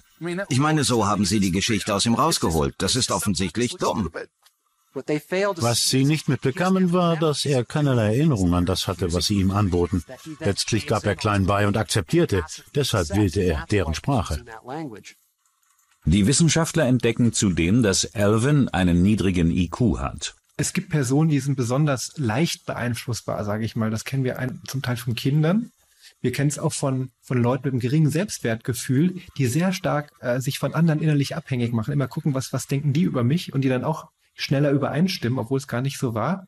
Und es gibt manchmal auch Leute, die einfach intellektuell unterlegen sind, die dann auch schneller auf solche taktischen Tricks, auf unter Druck setzen reinfallen und eben dann schneller Geständnisse ablegen. Falsche Geständnisse kommen vor. Eines der bekanntesten gab es bei einem Fall in England, als der Teenager Richard Buckland den Mord an einem jungen Mädchen gesteht. Erst ein DNA-Test beweist seine Unschuld. Die meisten Leute können nicht verstehen, warum jemand ein falsches Geständnis ablegt. Doch es ist empirisch gesichert, dass es sie gibt. Sie sind dokumentiert. Viele sind dokumentiert und so ist nicht die Frage, ob sie passieren, sondern warum und was man zu deren Minimierung machen kann. Die meisten Personen, die von der Polizei verhört werden, wissen nicht, dass sie die Vernehmung jederzeit verlassen können. Man muss sich nicht mit unbarmherzigen Fragen konfrontieren lassen. Doch den Geschworenen zu erklären, warum jemand eine Tat gesteht, die er nicht begangen hat, ist immer schwierig. Geständnisse vertuschen löchrige Beweise, ungenaue Recherchen, einfach alles. Wenn man jemand verurteilen will, ist das Beste, man hat ein Geständnis. Ich habe nur noch dem zugestimmt, was Sie sagten, um sie aus meinem Rücken zu bekommen. Ich wusste, Sie würden mit der Befragung aufhören, sobald ich mit Ihnen übereinstimmte. Das Leben ist sehr hart zu Elvin und ich will verdammt sein, wenn ich dem System dabei zuschaue, wie es ihn überrollt, um korrupte, dumme Cops zu decken. Das ist die einzige Möglichkeit, es zu beschreiben. Peter Barbie ist davon überzeugt, dass Alvin Lathams Geständnis erzwungen ist. Doch warum hat der Coroner Tinkys Tod als Mord bestimmt? Beim Lesen des Autopsieberichtes entdeckt Barbie, dass der Coroner die Tiefe der Wunden nicht aufgezeichnet hat. Der Coroner hat sie nie gemessen, nie seziert, nie auf den Winkel untersucht. Dr. Cyril Wecht, ein unabhängiger Rechtsmediziner, glaubt schon anhand der Fotos zu erkennen, dass es sich nicht um Stichwunden handelt. Man würde erwarten, dass alle oder mindestens einige Wunden eine signifikante Tiefe haben. Das hatten wir in diesem Fall aber nicht. Ich glaube nicht, dass das Stichwunden sind. Bei Stichverletzungen findet man eine ganz typische Wundmorphologie. Bei einschneidigen Messern mit einer glatten Klinge findet man, wie wir sagen, geradlinig glattrandige Wundränder.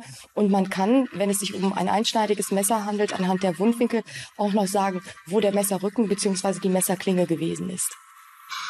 Doch was sind es dann für Wunden? Stellen Sie sich einen Propeller vor. Ein Teil davon trifft auf eine Leiche. Es ist sehr leicht zu verstehen, wie es zu dieser Art von Verletzungen gekommen ist. Dr. Wecht vermutet, dass dies auch die Verletzungen an Tinkys Kopf verursacht hat. Die treibende Wasserleiche wurde womöglich von einem Schiff überfahren. Ich glaube, das ist die plausibelste Erklärung. Die augenscheinlichen Verletzungen an Mr. Leica sind postmortem entstanden, während die Leiche fünf Tage im Golf herumtrieb. Interessanterweise bestätigt der Kapitän, der Tinkys Leiche geborgen hat, diese Theorie. Er sagte, ich bin seit langem Kapitän und dies ist nicht meine erste Leiche. Er war überzeugt, dieser Mann ist von einem Schiff überfahren worden. Und der Kapitän erzählt Barbie noch etwas, das nie publik gemacht wurde. Er sagte, er hatte einen Schuh an und einen Schuh aus. Meine Alarmglocke ging an, weil das war Alvins ursprüngliche Geschichte. Tinky war am Ende mit dem Schiff untergegangen, weil er seinen Fuß unter einem Ankertau eingeklemmt hatte.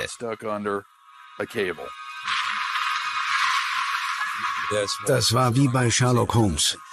Der Mann mit dem einen Schuh. Sie brachten ihn in Beziehung mit der Version der Geschichte, dass der Fuß unter dem Netz steckte.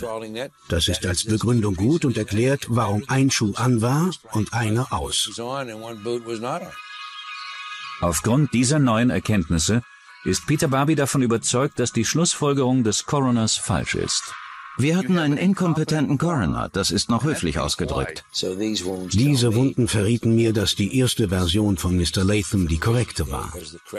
Mr. Leicas Leiche hatte keine Wunden von Alvin Latham zugefügt bekommen. Als Alvin wegen Mordes vor Gericht steht, spielt die Anklage den Geschworenen nur das Geständnis vor. Erst später schauen sich die Geschworenen die komplette achtstündige Vernehmung an. Du warst es. Wie hast du es gemacht? Ich war's nicht. Du hast ihn geschlagen und seinen Mund mit Klebeband bedeckt. Ich habe ihn nicht geschlagen. Wie ist es passiert? Ich weiß es nicht. Jeder, der dieses Band anschaute, sah, was passierte. Niemand konnte ihm helfen. Seien Sie überzeugt, das war ein extremer Fall von Polizeibrutalität. Vom Pathologen der Verteidigung hören die Geschworenen, dass Tinkys Tod ein Unfall ist. Und Alvin Latham betritt zu seiner eigenen Verteidigung den Zeugenstand. Dort wiederholt er die Geschichte, die er der Küstenwache bei seinem ersten Verhör erzählt hat.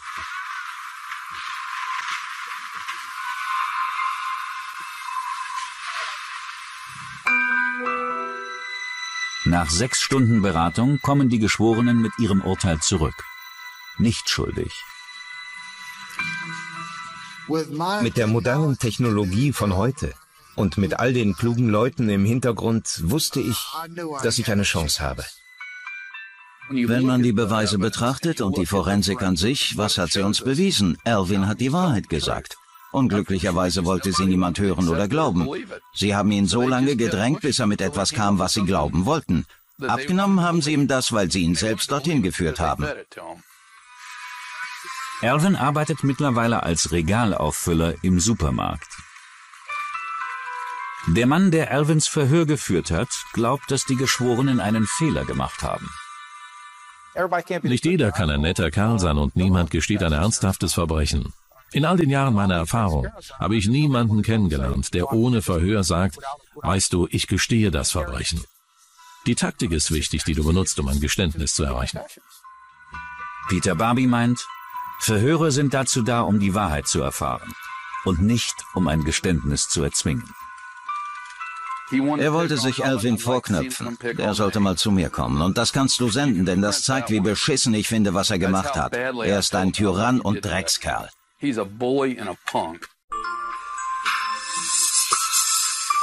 Das plötzliche Verschwinden eines millionenschweren Immobilienhändlers in Las Vegas ist äußerst verdächtig. In seinem Testament deutet er an, dass ihm etwas Schreckliches zustoßen könnte. Ein Taucher, ein Ballistiker und ein Pizzabote bringen die Wahrheit ans Licht und belegen, dass sich seine dunkle Vorahnung bestätigt hat. Alle 20 Minuten entsteht in Las Vegas ein neues Haus.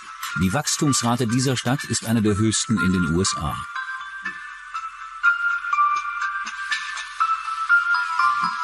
Und genau davon profitiert Ron Rudin. Er baut Eigenheime in den Vororten von Las Vegas.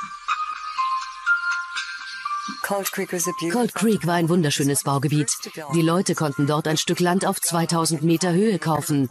Dadurch wohnten sie in einer Gegend, in der es im Sommer im Schnitt 15 Grad kühler ist. Trotz seines Erfolges ist Ron Rudin nicht überall beliebt. Er hat Menschen zur Räumung ihrer Häuser gezwungen. Wenn sie ihr Darlehen nicht bezahlen konnten, mussten sie gehen. Daher gab es viele Leute, die Ron Rudin nicht mochten. Um sich zu schützen, trifft er strenge Sicherheitsvorkehrungen. Ron lebte verschanzt, wie in einer Festung, eingezäunt mit Stacheldraht und Wachhunden auf dem Grundstück. Er besaß ein ausgeklügeltes Alarmsystem und hatte eine riesige Sammlung von Pistolen, Gewehren und anderen Waffen im Haus. An einem Montagmorgen im Jahr 1994 kommt Mr. Rudin nicht zur Arbeit. Das erste Mal in 20 Jahren. Als er eine halbe Stunde vor Öffnungszeit immer noch nicht da war, wussten die Angestellten, dass etwas nicht stimmt. Auch aufgrund der Tatsache, dass er nur zehn Meter entfernt von seinem Büro wohnt. Ron war niemand, der einfach verschwindet und seine Geschäfte unbeaufsichtigt lässt.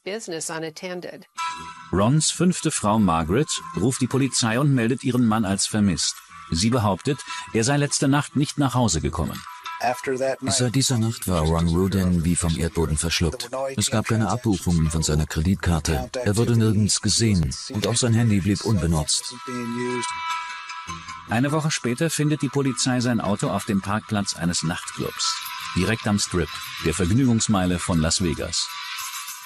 Der Wagen wurde vom Nachtmanager des Strip-Lokals gefunden, ein ehemaliger Polizeibeamter von Las Vegas, der wegen Verbindungen zum Milieu unehrenhaft aus dem Dienst entlassen wurde. Das legte die Vermutung nahe, ob es vielleicht einen Zusammenhang zwischen organisiertem Verbrechen und dem Verschwinden gibt. Im Wagen finden die Beamten Schlamm und Blutspuren. Das Blut ist für eine DNA-Analyse allerdings unbrauchbar. Blutspuren sind immer dann nicht mehr gut analysierbar, wenn sie entweder zersetzt sind durch Licht hauptsächlich oder Säure oder Basen oder irgendwelche Reinigungsmittel. Dann wird die Erbsubstanz, die darin ist, zerstört. Oder aber, wenn man einfach drüber trampelt oder sie mechanisch zerstört. Das heißt, wegwischt, reintritt, bevor sie sich richtig geformt und ausgetrocknet haben. Oder sie halt auf irgendeine andere Art wirklich für immer beseitigt.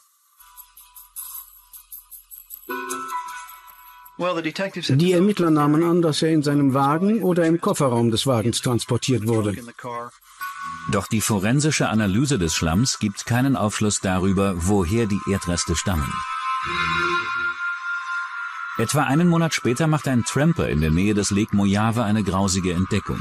Er findet einen menschlichen Schädel.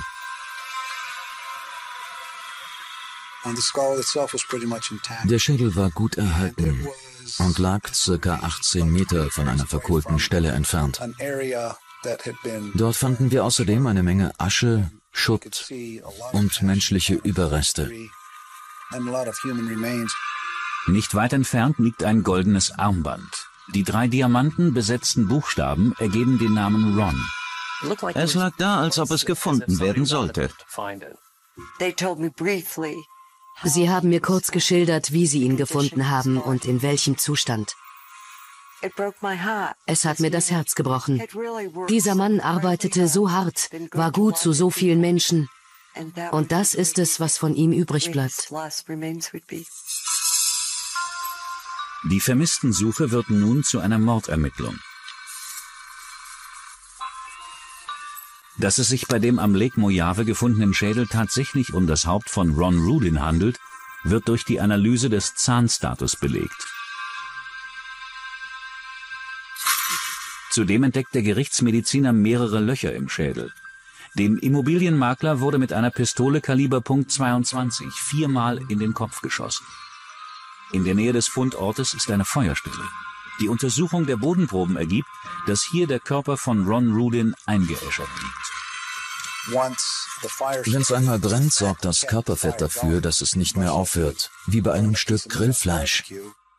Das hört sich unappetitlich an, gehört aber dazu, wenn man beweisen will, was passiert ist. In der Feuerstelle liegen außerdem mehrere Metallstreifen und Teile, die wie das Schloss eines Koffers aussehen. Für die Ermittler ist klar, diese Tat hat nichts mit dem organisierten Verbrechen zu tun.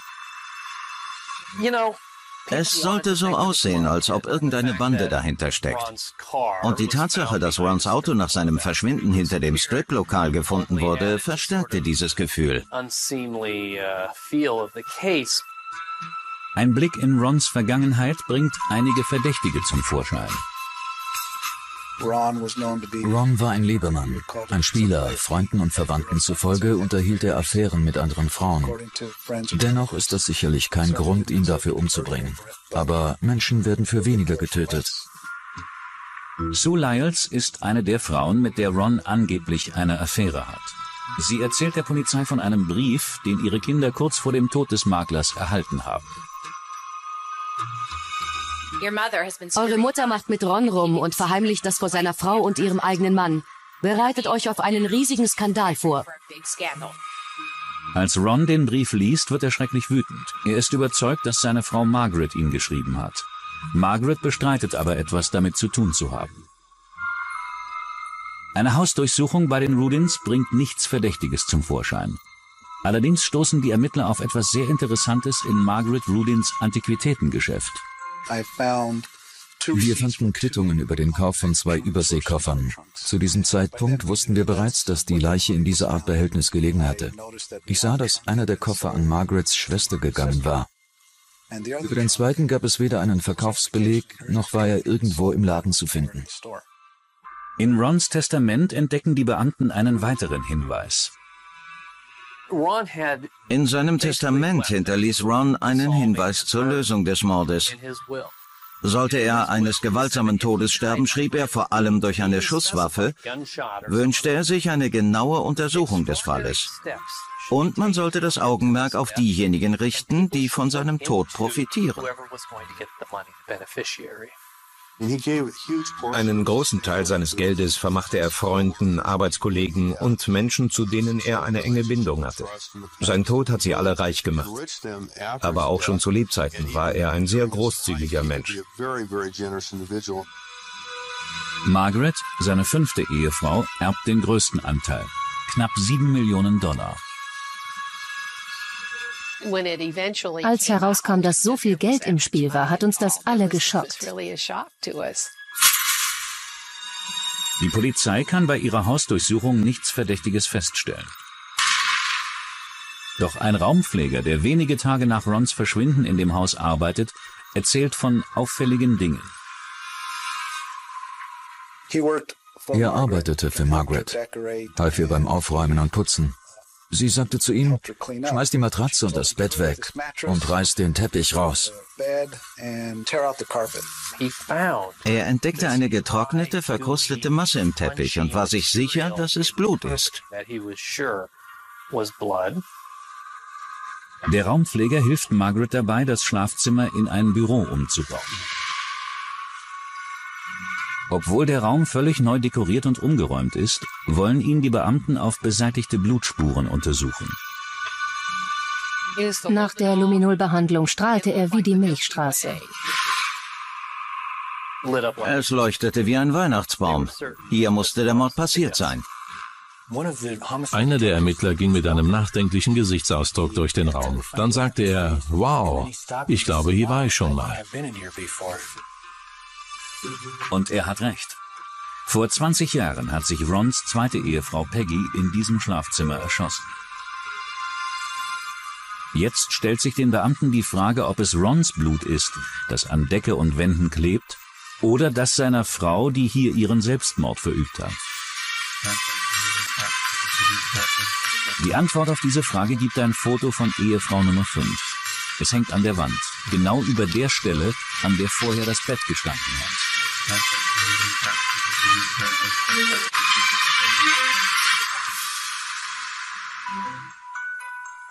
Die Ermittlungen im Mordfall des millionenschweren Immobilienhändlers Ron Rudin konzentrieren sich zunächst auf seine Ex-Frauen und Geschäftspartner. Sie nahmen viele Leute unter die Lupe, Menschen, die mit Ron zusammenarbeiteten, Ex-Frauen, Verwandte, aber es kam nichts dabei heraus. Im ehemaligen Schlafzimmer von Ron Rudin sind durch Luminol abgewischte Blutspritze an Decke und Wänden zu erkennen. Welche Aussagekraft eine Blutspur haben kann und was für eine Rolle die Verteilung und Form der Spritzer spielt, weiß Kriminalbiologe Dr. Mark Benecke. Blutspuren werden vor allen Dingen darauf untersucht, aus welchem Winkel sie aufgetroffen sind, in welcher Reihenfolge sie aufgetroffen sind und welche Eigenschaften sie haben. Im Sinne von, sind es Kontaktspuren, die irgendwie durch direkte Übertragung an die Wand oder sonst wohin gelangt sind, oder sind sie durch die Luft geflogen? Und dann versucht man das Ganze mit verschiedenen möglichen Geschehensweisen so gut in Einklang zu bringen, wie es geht. Und wenn man Glück hat oder wenn man eben das richtige Szenario erkannt hat, dann passt es eben wie die Faust aufs Auge. Mike Perkins untersucht die wenigen noch verwertbaren Blutstropfen unter dem Mikroskop. Wir messen die Breite und Länge der Flecken und mit einer einfachen mathematischen Formel können wir dann den ungefähren Aufprallwinkel der Tropfen auf der Oberfläche bestimmen.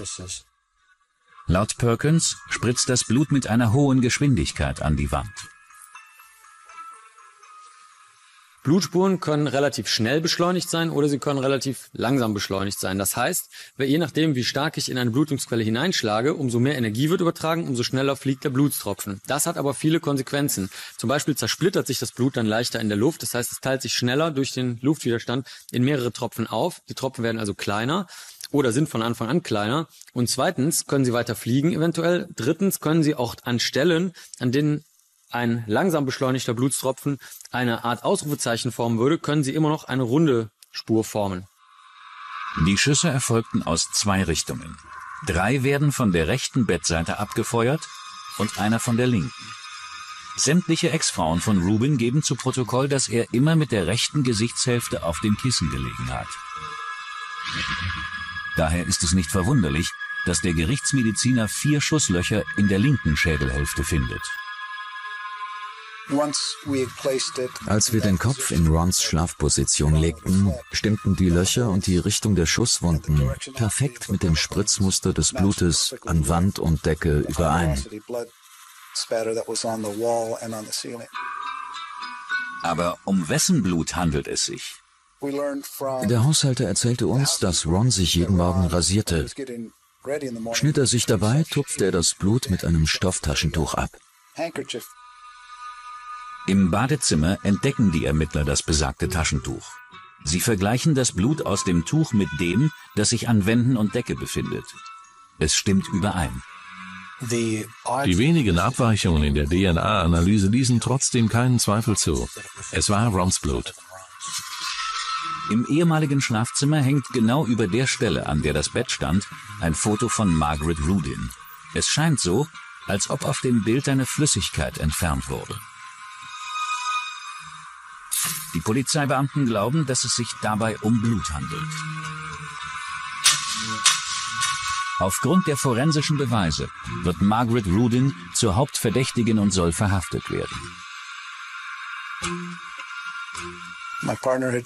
Mein Partner rief ihren Anwalt an und sagte ihm, dass wir Anklage gegen seine Mandantin erheben und fragte, stellt sie sich freiwillig oder müssen wir sie holen? Er sagte nur, ich weiß nicht, wo sie ist. Sie war weg, verschwunden für lange Zeit. In den darauffolgenden Jahren gibt es immer wieder Hinweise, dass Margaret sich erst in Arizona versteckt, später dann in Mexiko. Doch stets entwischt sie.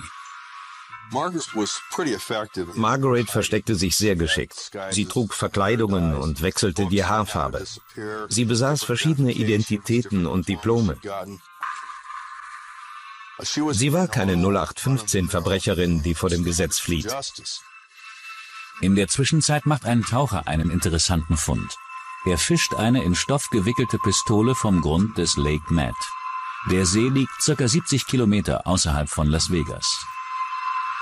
Die Waffe, auf der ein Schalldämpfer montiert ist, wird der Polizei von Las Vegas ausgehändigt. Tori Johnson reinigt und repariert die Pistole und führt dann Testschüsse mit ihr durch. Bei der mikroskopischen Betrachtung fällt ihm auf, dass die Projektile sehr ungewöhnliche Markierungen aufweisen. Und sie erinnern ihn an die Geschosse aus Ron Rudins Schädel. Ich habe lange gebraucht, bis alle Untersuchungen abgeschlossen waren. Aber danach gab es für mich keinen Zweifel mehr, dass diese Pistole die Tatwaffe war. Ich rief den Bezirksstaatsanwalt an und sagte, du wirst es nicht glauben, aber ich habe die Mordwaffe. Wow. Einfach nur wow. Ich meine, das war's. Das war der Durchbruch. Und die Ermittler können einen weiteren Erfolg verzeichnen. Jede Schusswaffe, die mit einem Schalldämpfer ausgestattet ist, muss bei der Bundesregierung registriert werden. Die Pistole hatte die Zeit im See gut überstanden. Die Seriennummer war noch zu erkennen. Tory ruft im ATF an, dem Ministerium für Alkohol, Tabak und Schusswaffen. Als er die Seriennummer des Schalldämpfers durchgibt, sagt man ihm, dass die Waffe einem Ron Rudin gehört. Vor sieben Jahren hat Ron die Waffe als vermisst gemeldet, kurz nach der Hochzeit mit Margaret. Er sagte, er weiß, dass Margaret die Pistole hat. Davon war er überzeugt. Und fragte sie immer wieder danach, aber sie sagte natürlich nein. Sie war die einzige neben Ron, die Zugang zu den Waffen hatte. Ihm war anfangs bestimmt nicht klar, warum sie die Pistole gestohlen hat. Jetzt ergab es einen Sinn. Ron liebte zwei Dinge auf dieser Welt, Waffen und Frauen. Beides kam in einer Nacht auf tragische Weise zusammen und verursachte seinen Tod. Doch eine Frage bleibt weiterhin offen. Wo ist Margaret Rudin? Knapp zwei Jahre nach ihrem Verschwinden wird der Fall im Fernsehen gezeigt. Die Zuschauer werden um Mithilfe gebeten. Nach der Sendung meldet sich ein Mann aus Revere, Massachusetts, bei der Polizei. Er behauptet, in dem Apartment neben ihm lebt eine Frau, auf die die Beschreibung zutrifft. Die Beamten befragen daraufhin mehrere Angestellte einer Postfiliale auf der gegenüberliegenden Straßenseite. Sie erkennen Margaret sofort. Die Verhaftung war ein Klassiker. Die Kollegen in Revere haben einen super Job gemacht. Das Apartment wird überwacht. Alle warten auf die passende Gelegenheit, um zuzuschlagen. Margaret bestellte eine Pizza und brachte die Kollegen damit auf eine gute Idee. Einer von ihnen verkleidete sich als Mitarbeiter vom Pizzaservice. Mit einem zweiten Kollegen als Rückendeckung klopft er an die Apartmenttür. Sie öffnete die Tür und schaute den Pizzaboten an. Er sagte, Polizei, lassen Sie uns herein. Sie wissen, warum wir hier sind. Und Sie? Ja, wegen der Sache in Vegas. Margaret Rudin wird verhaftet und wegen Mordes an ihrem Ehemann angeklagt. Bei ihren Nachforschungen stellen die Beamten fest, dass die Rudins große Eheprobleme hatten. In Rons Büro entdecken sie sogar eine Abhörvorrichtung, heimlich eingebaut im Auftrag von Margaret. Sie hörte ein Telefongespräch zwischen ihrem Mann und seiner Freundin ab, in dem sich die beiden in einem seiner Mietshäuser verabredeten. Margaret notierte das in ihrem Tagebuch. Diesem entnahmen wir außerdem, wohin sie ging und dass sie die beiden beobachten ließ. Margaret spürt, dass ihre Ehe kurz vor dem Ende steht. Und sie ist sich bewusst über die finanziellen Komplikationen, die eine Scheidung mit sich bringt. Die Ermittler glauben, die Angeklagte wartet, bis sich ihr Mann schlafen legt, dann holt sie die Pistole, welche sie vor Jahren aus seiner Waffensammlung entwendet hat. Laut der forensischen Beweise schießt sie dreimal von der rechten Bettseite, wodurch das Blut an die Wände, die Decke und ihr Porträt spritzt.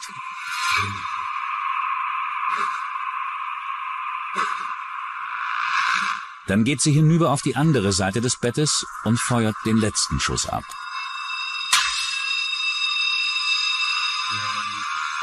Die Beamten sind davon überzeugt, dass ihr jemand geholfen hat, Rons Körper in den schweren Überseekoffer zu hieven, ihn dann zum Lake Mojave zu fahren und dort zu verbrennen. Doch bis heute ist kein Mittäter bekannt.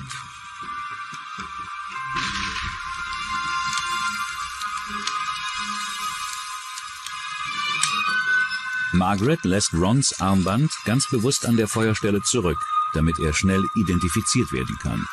Denn nur dann erbt sie sieben Millionen Dollar seines Vermögens. Die Tatwaffe versenkt Margaret im Lake Med, wo sie zufällig ein Hobbytaucher findet.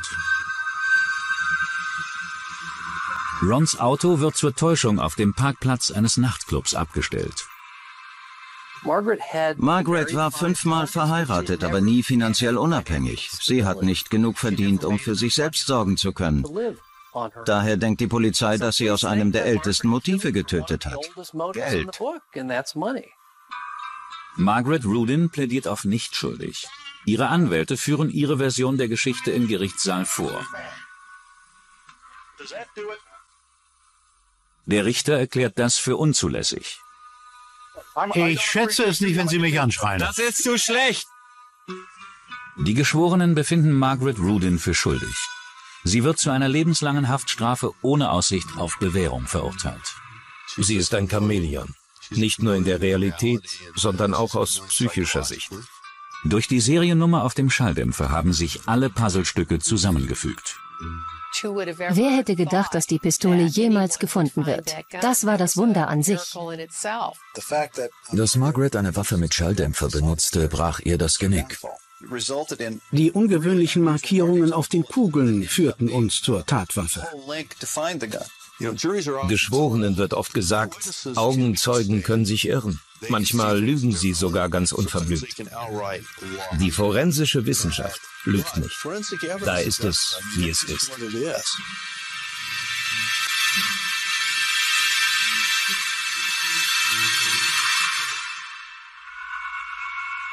Der kaltblütige Mord an einem Feriengast in Mexiko beunruhigt die Gesetzeshüter auf beiden Seiten der Grenze. Dem Anschein nach handelt es sich um einen Raubüberfall. Doch die forensischen Beweise bringen eine ganz andere Geschichte ans Licht. Die Geschichte eines heimtückischen Plans, einer geänderten Identität und einer verheimlichten Geschlechtsumwandlung. Puerto Peñasco, Mexiko. Amerikaner nennen den Ort Rocky Point. Die kleine Feriensiedlung liegt knapp 100 Kilometer hinter der mexikanischen Grenze und bietet alles, was das Urlauberherz begehrt. Strände, Sonne, Möglichkeiten zum Sportfischen, Golfmeisterschaften und Kultur. Hier kann man wunderbar abhängen, frische Shrimps direkt vom Boot kaufen und abends gemeinsam am Strand kochen. Und genau hier verbringt im Jahr 1991 Familie Willoughby ihren Winterurlaub. Nach ein paar Tagen am Strand will Dan Willoughby mit seinen Kindern einen Ausflug ins Wissenschaftsmuseum machen. Seine Frau Trish hat Kopfschmerzen und bleibt im Ferienhaus. Als die Familie zwei Stunden später zurückkehrt, macht sie eine grausige Entdeckung. Als die junge Farah und der kleine Hayden ins hintere Schlafzimmer gingen, fanden sie ihre Mutter auf dem Bett liegen den Kopf eingewickelt in einem blutdurchtränkten Handtuch. Sie liefen weinend hinaus. Mami ist voller Blut und sie atmet nicht richtig. Dan versammelt seine Kinder auf der Veranda, spricht ein Gebet und alarmiert dann die Polizei. Doch weder Gebete noch Ärzte können Trish Willoughby helfen. Sie verstirbt Stunden später an einem massiven Schädelhirntrauma. Trish war eine liebenswerte, wundervolle Person. Sie hat die Herzen der Menschen berührt. Sie haben sie geliebt, weil sie so freundlich und warmherzig war und so erfüllt von Lebensfreude und Enthusiasmus. Der Gerichtsmediziner stellt einen großen Bluterguss an Trishs Bauch fest. Insgesamt neunmal wurde mit einem stumpfen Gegenstand auf ihren Kopf geschlagen und zusätzlich mit einem Küchenmesser auf sie eingestochen. Die Polizei vermutet, dass es sich um Raubmord handelt. In ihrem Portemonnaie fehlen 400 Dollar. Der Ehering sowie ein kostbarer Perlenring sind ebenfalls verschwunden. Unglücklicherweise untersuchen die mexikanischen Beamten den Tatort nur unzureichend auf Spuren. Sie haben dort nur geringe Kapazitäten. Die Polizeistation besitzt nicht mal ein Fingerabdruckset. Sie kamen zum Tatort, schauten sich kurz um und versiegelten ihn. Ein Angestellter der Feriensiedlung erzählt Dan Willoughby, er habe zum Zeitpunkt des Mordes ein paar verdächtige Typen in der Nähe des Strandhauses gesehen. Die Siedlung liegt in der Nähe einer größeren Stadt. Die Menschen leben dort in bitterer Armut. Das gestohlene Bargeld und die Ringe entsprechen einem Gehalt, welches dort eine Durchschnittsfamilie in sechs Monaten verdient. Das größte Problem für die mexikanische Polizei ist es nun, den Täter ohne forensische Beweise finden zu müssen. Der Mord an Trish Willoughby macht auch in ihrer Heimatstadt Gilbert im US-Bundesstaat Arizona Schlagzeilen. Prompt melden sich mehrere besorgte Mitbürger bei der örtlichen Polizei. Sie berichten, dass der Haussegen der Familie Willoughby schon seit längerem schief hängt. Was können Sie mir über die Freundin sagen? Was wissen Sie? Alle Anrufer erzählen das Gleiche. Denn Willoughby habe eine Affäre mit einer Frau namens Yesenia Pettino. Klar ausgedrückt könnte man Yesenia Pettino als Goldgräberin bezeichnen oder besser als Vollzeitprostituierte, in dem Sinne, dass sie sich einen Mann angelt und dann von ihm lebt. Trish weiß von der Affäre ihres Mannes. Trish ging zu Yesenias Apartment, trat ihr im öffentlichen Poolbereich der Feriensiedlung gegenüber und schrie sie an.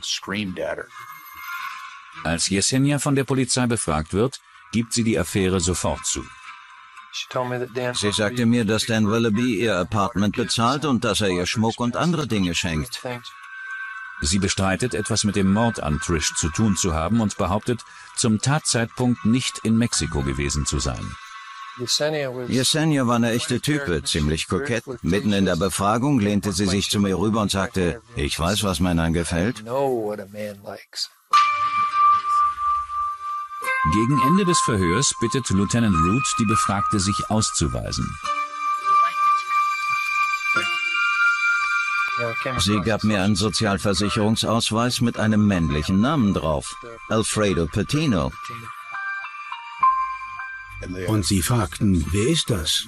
Sie sagte, oh, das bin ich, vor meiner Geschlechtsumwandlung. Äußerlich ließ ich mir nichts anmerken, aber innerlich schrie es in mir, klar weißt du, was Männern gefällt, schließlich warst du selber einer. Das war schockierend, aber sie war eine Persönlichkeit. Bei der Überprüfung ihrer Identität stellen die Beamten fest, dass Yesenia bzw. Alfredo Pettino mehrfach vorbestraft ist. Sie wurde in Oregon verhaftet, weil sie als männliche Prostituierte arbeitete. Ihr Geschlecht stand da noch nicht zur Debatte. Überraschenderweise ist Dan völlig ahnungslos, obwohl die beiden ein Liebespaar sind. Als wir mit Dan über Yesenia sprachen, was sie oder er gewesen ist, bevor sie eine sie war oder ein Es oder was auch immer, saß Dan mit hängendem Kopf da und der Schweiß lief ihm aus den Ohren und über sein Gesicht. Sein einziger Kommentar war, das ist ein gefundenes Fressen für die Klatschpresse. Mein Gott,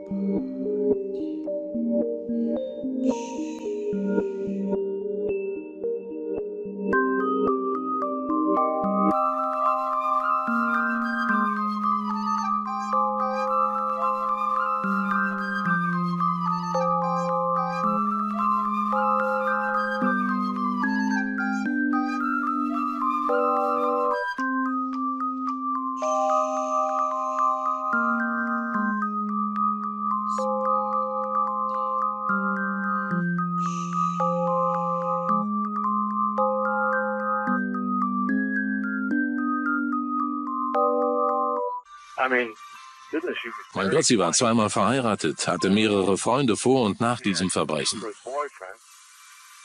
Sie hatte weder mit einer Baritonstimme gesprochen, noch besaß sie einen vorstehenden Adamsapfel.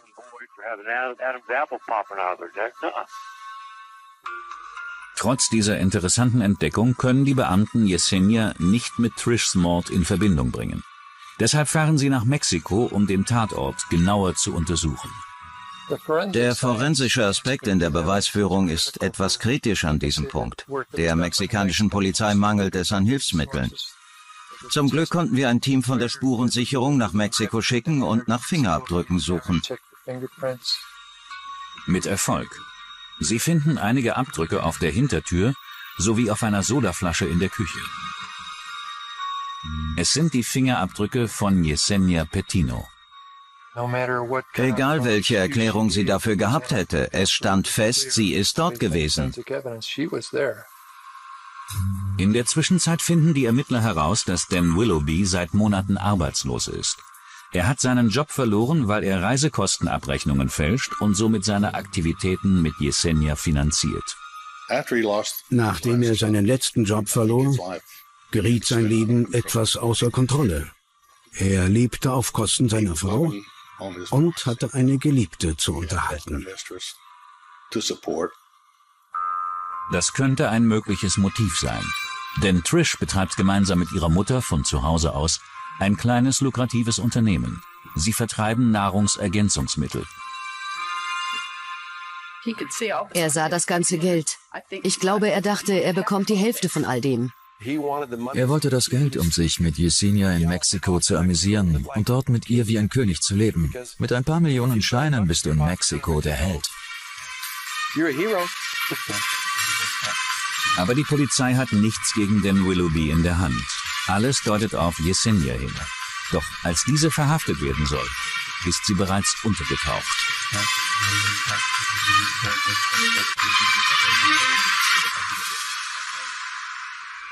Als die Polizei die Kinder der Familie Willoughby zum Tod der Mutter befragt, erzählen diese eine ganz andere Geschichte als ihr Vater. Die 17-jährige Marsha sagt aus, alle bis auf ihre Mutter hätten das Haus verlassen. Im Auto habe Dan Willoughby dann behauptet, etwas vergessen zu haben. Er sei ausgestiegen und allein ins Haus zurückgegangen.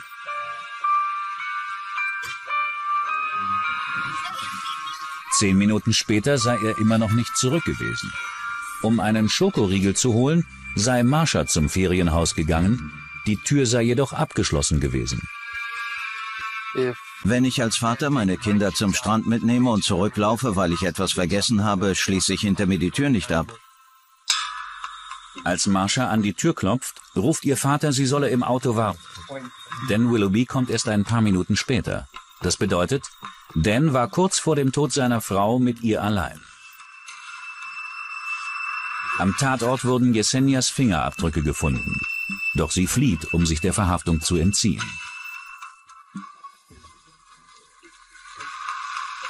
Die Familie von Trish versucht auf eigene Faust, die Mexikanerin zu finden und hängt in Arizona und in Mexiko Flyer aus. Trishs Mutter bittet sogar im Fernsehen um Mithilfe. Sie wendet sich an die Medien, weil sie glaubt, wenn sie die Person finden, könnte der Fall gelöst werden. Die Aktion zeigt Erfolg. Jemand erkennt Yesenia und verrät, dass sie als Bedienung in einer Bar in Mezetlin arbeitet. Bei ihrer Verhaftung finden Beamte Ringe von Trish Willoughby in ihrem Besitz. Ich vermute, sie hat sie ihr von den Fingern gezogen. Als die Ermittler Yesenia mit den Beweisen konfrontieren, legt diese ein Geständnis ab. Sie bezichtigt Dan Willoughby als Drahtzieher des Verbrechens und behauptet, er sei der eigentliche Mörder. Yesenia gibt zu Protokoll, dass Dan seine Frau bereits einige Monate zuvor in einem Restaurant in Arizona umbringen wollte. Dann reisen Yesenia und Dan gemeinsam nach Rocky Point, um nach einem abgelegenen Strandhaus zu suchen, in dem sie die Tat verüben können. Sie haben die Idee, mit den Kindern ins Museum zu fahren, um Dan ein Alibi zu verschaffen. Yesenia gibt zu, am Tag des Mordes in Mexiko gewesen zu sein, und das Feriendomizil von der Straße aus beobachtet zu haben. Ihr Plan wird Realität. Dan geht mit den Kindern zum Auto. Dann täuscht er vor, etwas vergessen zu haben und geht zurück ins Haus. Dort überwältigt er Trish mit einem Schlag in den Magen und prügelt sie anschließend zu Tode. Dann fährt er mit den Kindern davon.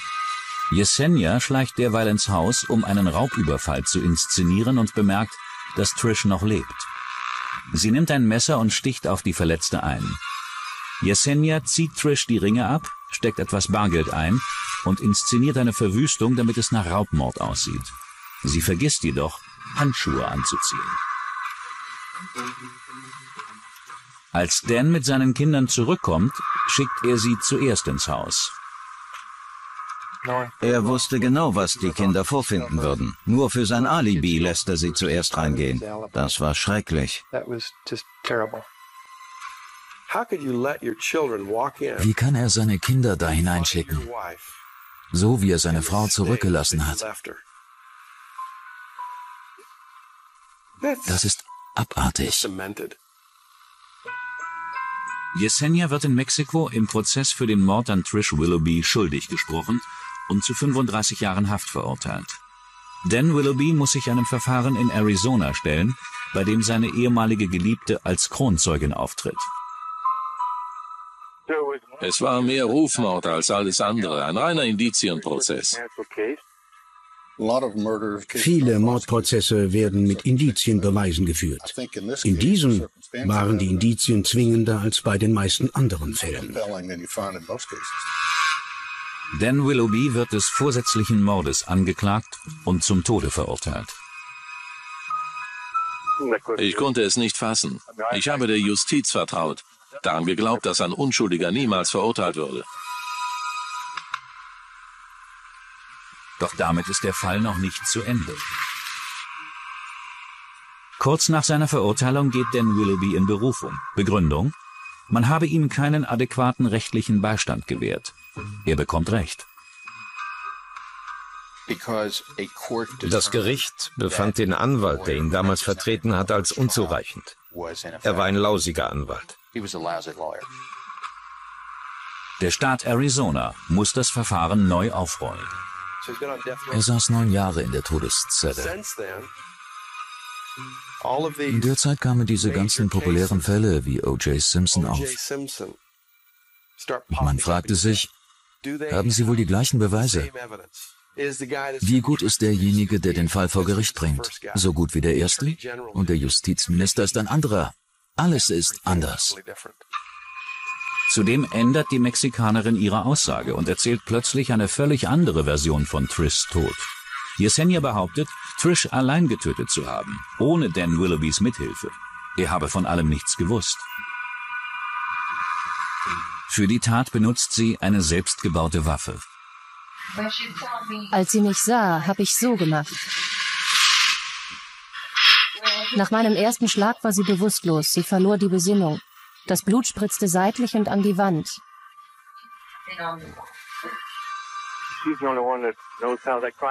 Sie ist die Einzige, die weiß, was sich wirklich abgespielt hat. Denn sie hat das Verbrechen begangen. Und das, was sie auf dem Video erzählt, ist wahrhaftig eine eidesstattliche Aussage. Die Anklage umfasste drei Worte. Yesenia war es. Tom Bevel soll die Blutspuren noch einmal überprüfen. Ihm fallen sofort Ungereimtheiten auf. Die Verteilung der Blutspritze am Tatort passt nicht zu der Waffe, die Yesenia beschreibt.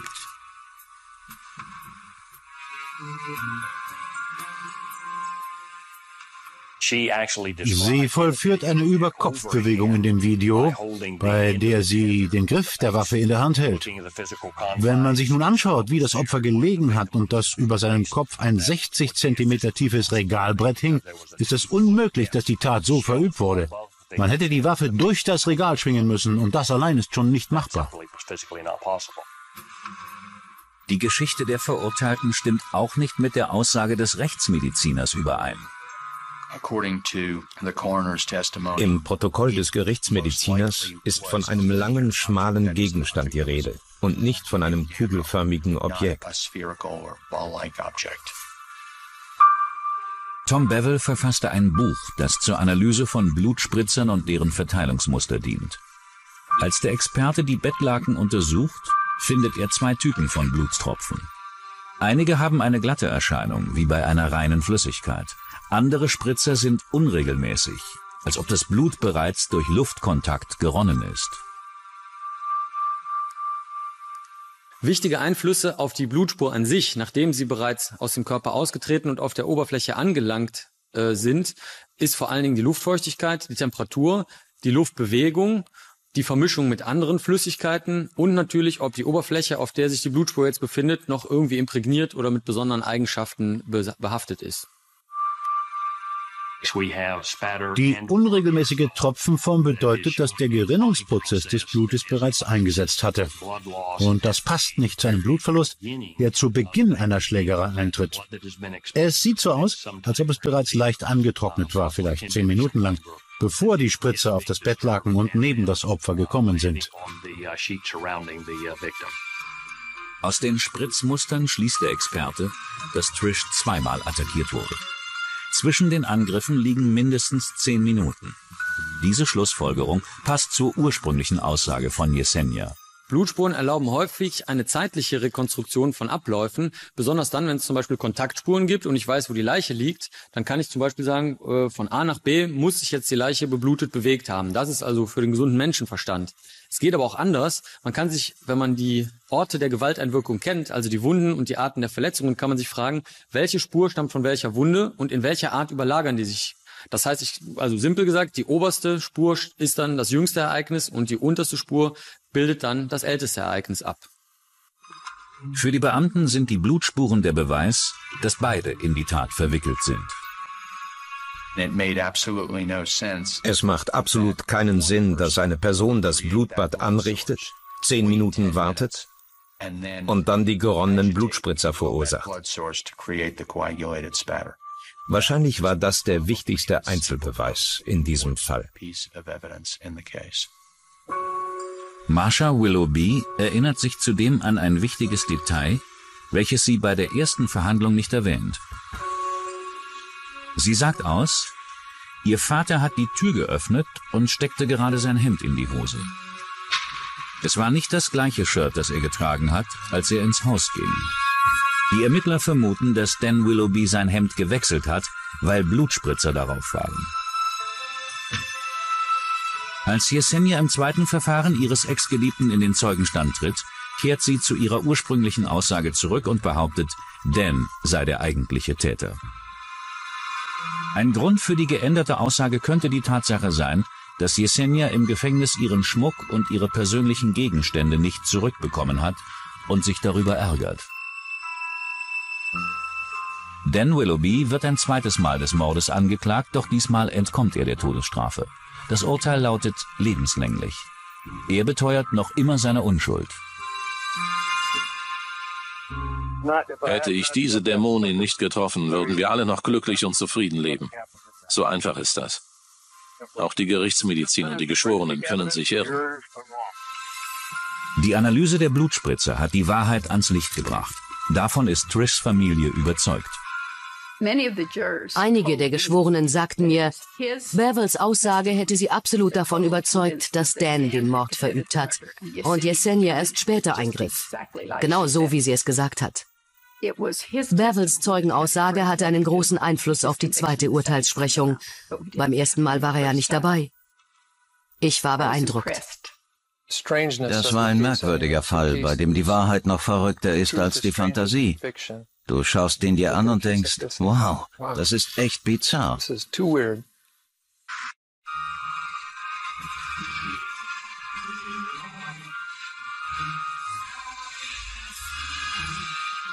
Die Winers sind aktive Mitglieder in der örtlichen Kirche. Liebevolle Nachbarn und Hilfe untereinander sind nicht nur leere Worte, sondern Lebensinhalt.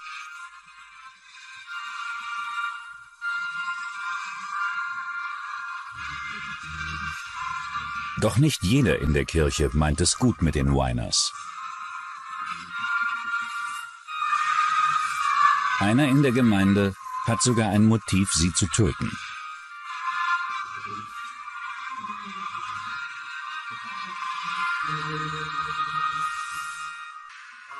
An einem Donnerstagabend im Juni 1988 erhält Sally Weiner einen Anruf in ihrem Haus in Corey, Pennsylvania. Es ist das Büro des Kongressabgeordneten. Ihr wird mitgeteilt, dass ihr Gatte Harry, Vizepräsident der örtlichen Bank, zum Mann des Jahres gewählt worden ist. Der Anrufer bat sie, ihrem Mann nichts zu erzählen. Vermutlich sollte es eine Überraschung werden. Sally sollte sich am nächsten Tag mit jemandem treffen, um die Pläne für die Feier zu besprechen.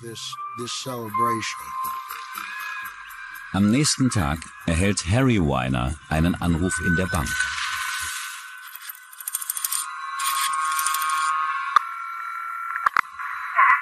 Hey, hier ist Sally. Ich wurde entführt.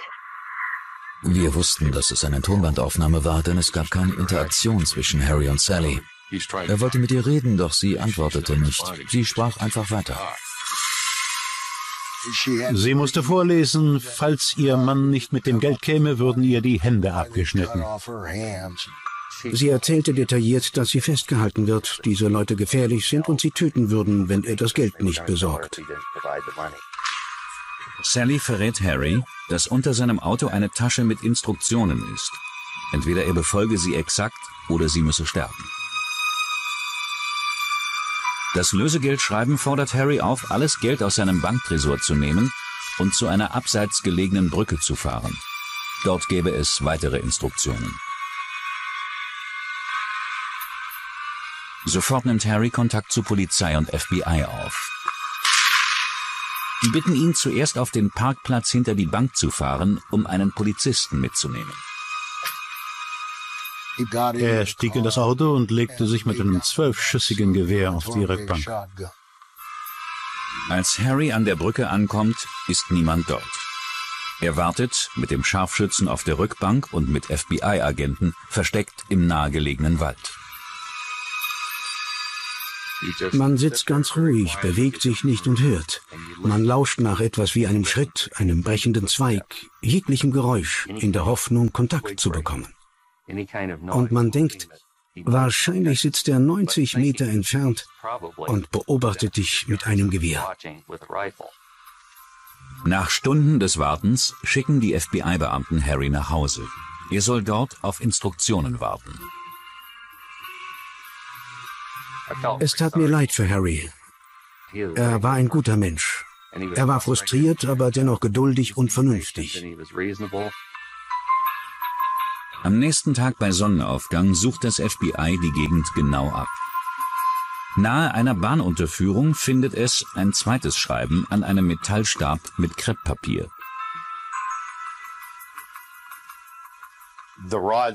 Als wir die Stäbe beschlagnahmten, wussten wir, dass es welche für Schränke sind, für ältere Schränke. Man schiebt sie von vorn nach hinten durch die Schublade des Schrankes. Doch der Hinweisstab ist schwer zu finden. Deshalb hat ihn Harry am Abend vorher auch verpasst. Die zweite Nachricht führt Harry an einen Ort mehrere Kilometer entfernt. Dort findet das FBI eine dritte Nachricht, die auf eine verlassene Kirche hinweist.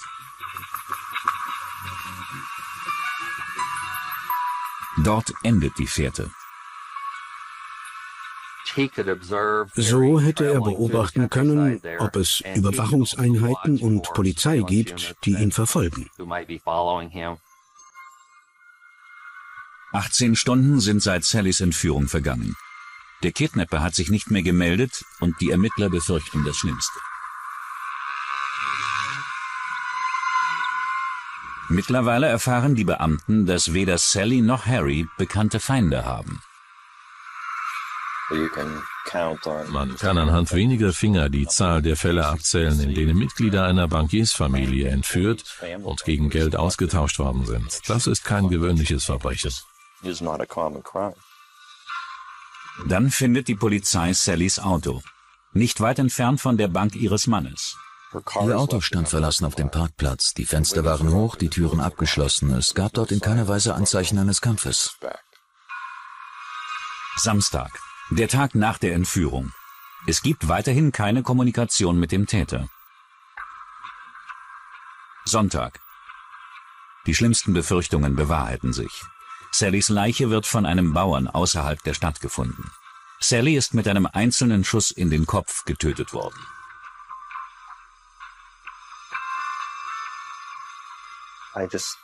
Ich erinnere mich, wie geschockt ich war. Ich fühlte mich schuldig und hilflos. Sie war hingerichtet worden. Der Mörder hat Munition benutzt, die beim Aufprall zerbricht. Damit ist es hinterher unmöglich, das Kaliber zu bestimmen. Sally Weiner wurde durch einen Gewehrschuss in den Kopf getötet, der das Gehirn erheblich zerstörte. Die Kugel drang in die Occipitalregion ein. Das ist das Hinterhaupt bis geringfügig zur rechten Mittellinie. Das ist hier hinten, wo die Kugel eintrat. Sie zersplitterte extrem und verursachte große Schäden in verschiedenen Bereichen des Gehirns.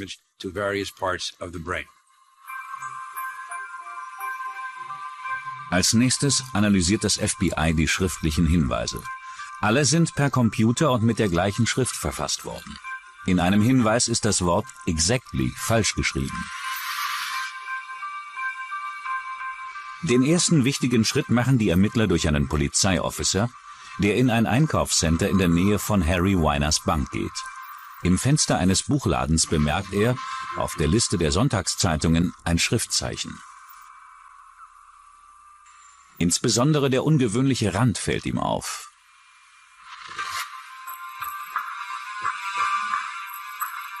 Es war ein fünfarmiger Stern mit Zeichen für größer als und kleiner als. Corporal Amon dachte kurz nach und sagte, ich weiß, das habe ich schon irgendwo mal gesehen. Der Polizist erinnert sich daran, das Symbol auf der ersten Hinweisnotiz gesehen zu haben.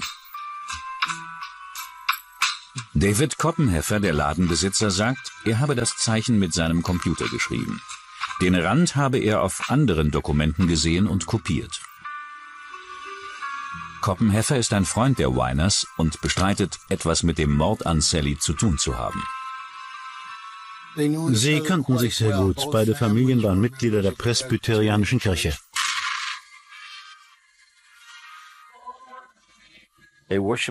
Sie besuchten gemeinsam den Gottesdienst. Und sie sangen zusammen. Sie saßen beide nicht weit voneinander entfernt auf der Kirchenbank. Aufgrund der Ähnlichkeit der Hinweisschreiben und der Zeichen im Fenster des Ladens beschlagnahmen die Ermittler Koppenheffers Geschäfts- und Heimcomputer. Eine vorläufige Untersuchung, die von der Staatspolizei durchgeführt wurde, erbrachte genau das, was auch einer unserer Beamten herausgefunden hat, nämlich nichts. Die Ermittler wollen die ungefähre Todeszeit von Sally wissen, um sie dann mit Koppenheffers Aufenthaltsort zu vergleichen.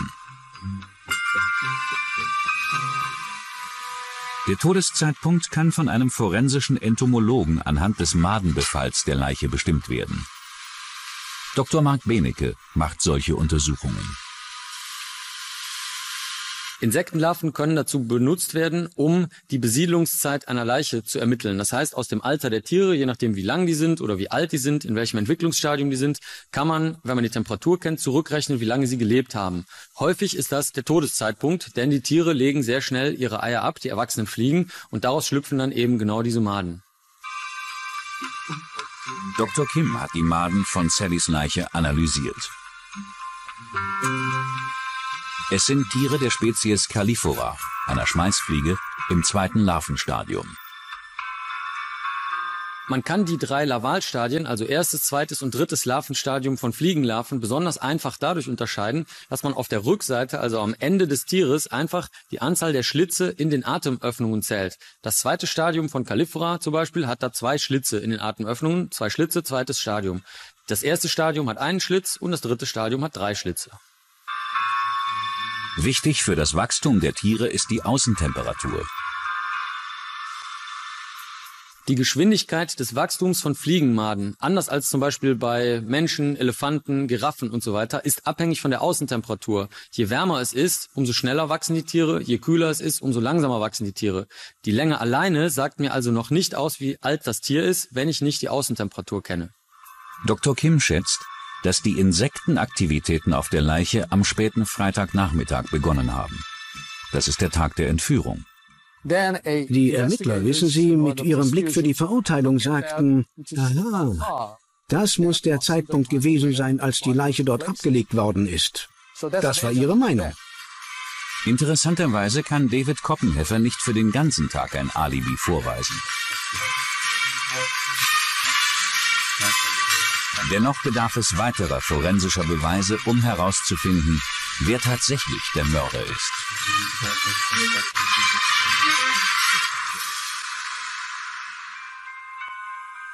Detaillierte Nachforschungen ergeben ein paar erschreckende Informationen über David Koppenheffer.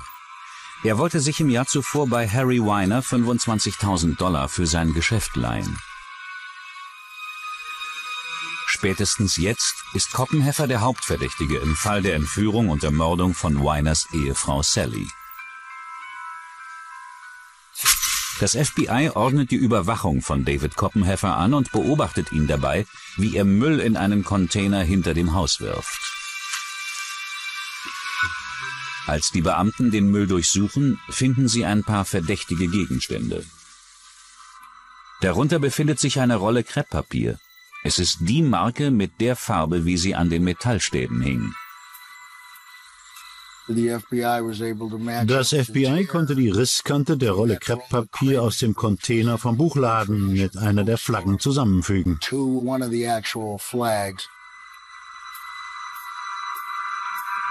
Außerdem finden die Ermittler Papierfetzen, die das FBI sorgfältig zusammensetzt. Und diese Notiz war eine Kopie der Notiz, die an den Orten lagen und Mr. Weiner leiten sollten nach der Entführung seiner Frau. Bei der Durchsuchung findet das FBI einen Stapel Metallstäbe in Koppenheffers Schuppen. Sie ähneln den Stäben, an denen die Hinweise befestigt waren. FBI-Kriminaltechniker William Tobin analysiert die Stäbe mit einem Elektronenmikroskop. Dabei entdeckt er an den Seiten einzigartige Markierungen, die bei der Herstellung entstanden sind. Individuelle Merkmale, die vom Werkzeug oder dessen Farbe übertragen werden, sind nicht immer gleich. In Stunde 1 sind sie anders als in Stunde 8, 12 oder Stunde 16.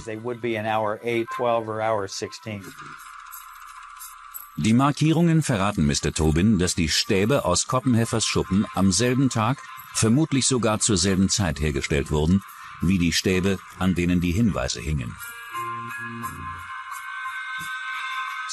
Das lag im Bereich von Minuten. Das war eine der besten Übereinstimmungen, die ich je hatte, im Hinblick auf die Herstellungsmerkmale. Zudem findet die Polizei zerbrechliche Munition in Koppenheffers Haus. Es ist der Typ, mit dem Sally getötet wurde. Ich denke, es ist extrem ungewöhnlich, diese Art Munition in einem Wohnhaus zu haben. Die örtlichen Behörden bitten das FBI, eigene Untersuchungen an Koppenheffers Computer durchzuführen, nachdem die anfängliche Suche in der Hardware nichts gebracht hat. Ein Dokument befindet sich nicht komplett nur an einem Platz auf der Festplatte. Einzelteile sind in verschiedenen Sektoren. Wird ein Dokument gelöscht, ist es nicht verschwunden. Der Platz wird nur freigegeben und kann durch andere Dokumente, wenn benötigt, überschrieben werden.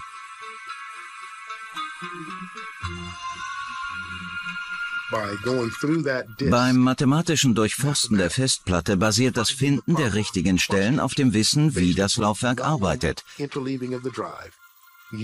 Man kann ein ganzes Dokument zusammensetzen, wenn der Platz des Dokuments nicht überschrieben worden ist.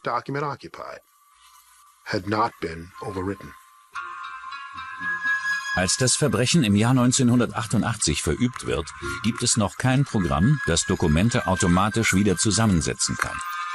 Deshalb muss Al Johnson mit seinem Team etwas sehr Aufwendiges machen und selbst analysieren. Das war ein kniffliger Prozess über annähernd 33 Tage, in dem wir zwei 20 Megabyte Festplatten durchsucht haben. Ein Computer ist so sicher wie eine nasse Plastiktüte. Er wirft keine Daten weg. Die Ermittler finden tatsächlich Stücke eines Dokuments, das Koppenheffer gelöscht hat. Es heißt der Plan. Es zählt alle Schritte auf, derer es bedarf, um Sally Weiner zu entführen und zu ermorden. Wir konnten 80 Prozent des Mordplans aus den Festplatten herausholen. 20 Prozent waren überschrieben oder so verändert worden, dass die Daten nicht zu finden waren. Diese Beweise waren vernichtend. Diese Beweise verbanden den Computer mit dem Mann und den Hinweisschreiben und dem Verbrechen. Das Dokument enthüllt, dass Sally Weiner nicht das einzige Ziel von Koppenheffer gewesen ist. Es scheint, als sähe der Plan vor, Harry Weiner zu töten, sobald er das Lösegeld bekommen hat. Die Staatsanwälte vermuten, dass David Koppenheffer Sally mit verstellter Stimme angerufen und ihr mitgeteilt hat, dass Harry Mann des Jahres geworden ist. Er war es auch, der mit ihr für den nächsten Tag einen Treffpunkt ausgemacht hat, um die Preisverleihung zu planen. Danach hat Koppenheffer die Hinweisschreiben an die verschiedenen Orte gebracht. Eines davon in eine Tasche unter Harrys Auto. Als Sally bei dem vermeintlichen Vorbereitungstreffen ankommt, erkennt sie Koppenheffer.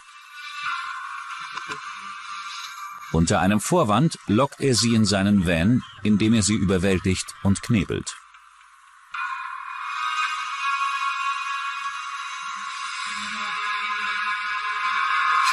Er drängt sie aufs Tonband zu sprechen und so ihrem Mann die Entführung mitzuteilen. Die forensischen Beweise belegen, dass Koppenheffer Sally nur wenige Stunden nach der Entführung tötet.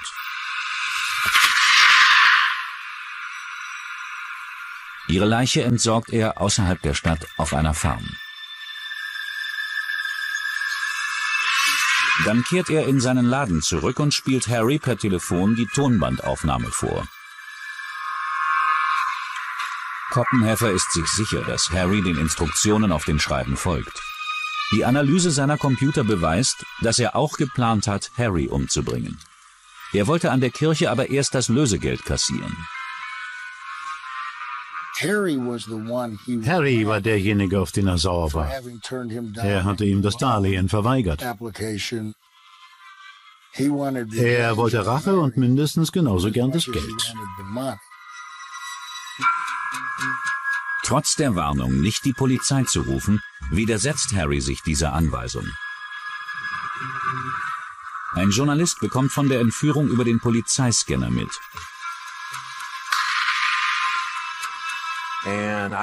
Ich fuhr sofort zur Plaza und parkte mein Auto. Doch da war gar nichts los. Deshalb geht Sample ins Geschäft von David Koppenheffer und fragt, was los ist. Er sah mich an und sagte, nein, es ist überhaupt nichts passiert. Es ist sehr ruhig heute Abend. Hier passiert nichts.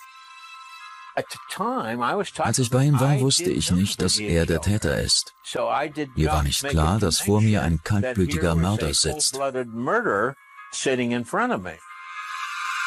Als Koppenheffer mitbekommt, dass die Polizei informiert ist, bleibt er in seinem Geschäft und fährt nicht zum Ort der Lösegeldübergabe. Zudem hat Harry den Hinweis an der Eisenbahnbrücke nicht gefunden.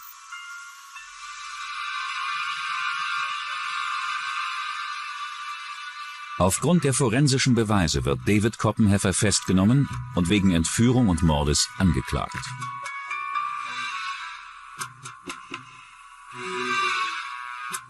Wir ließen ihn das Wort exactly schreiben. Er schrieb es in dem Test genauso falsch, wie es mit dem Computer falsch geschrieben worden war. Das war zur Überprüfung, dass er derjenige war, der das Zeug in den Computer geschrieben hat und nicht jemand anders. David Koppenheffer wird schuldig gesprochen und zu zweimal lebenslanger Haft verurteilt. David Koppenheffer ist ein Meistermanipulator. Das ist ein intellektuelles Spiel und eine Herausforderung, zu sehen, wie weit er gehen kann und dennoch entkommt. Ich denke, wenn er noch draußen wäre, würde er nochmal töten. Er hat während der Verhandlung ein Auge auf mich und Harry Weiner geworfen, da wir die Hauptzeugen gegen ihn waren. Ich denke, er würde vor nichts zurückschrecken. Trotz der überwältigenden Beweise gegen ihn beteuert Koppenheffer weiterhin seine Unschuld.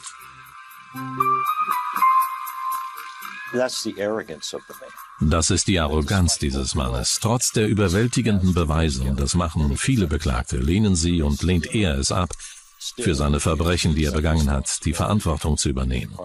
Und das ist die eigentliche Sünde, die größte Sünde von allen. Dieser Fall ist meiner Überzeugung nach ein Meilenstein. Das ist der Beginn, die Genesis der heutigen Computerforensik. Von da an war Computerforensik geboren.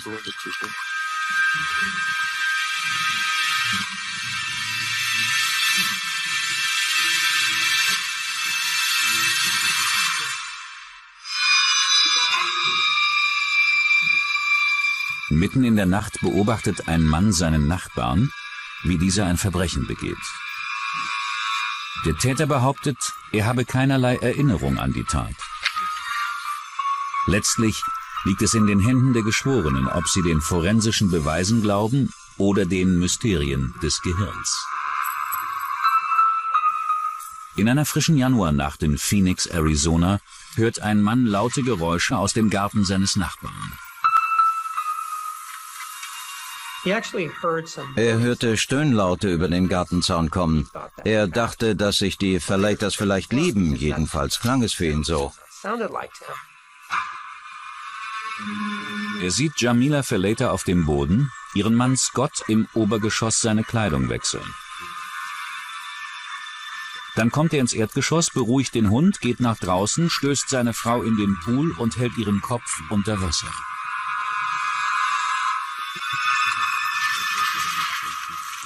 Sofort alarmiert der Nachbar die Polizei.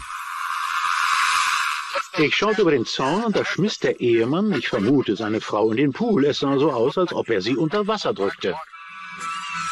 Die Polizei findet Jamila Feleta treibend im Pool.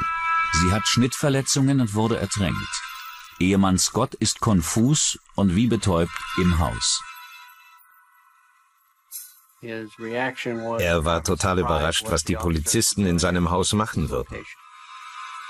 Die erste Frage, an die er sich erinnert, war, wie viele Personen sind im Haus? Er antwortete sofort vier, ohne zu wissen, dass seine Frau tot ist.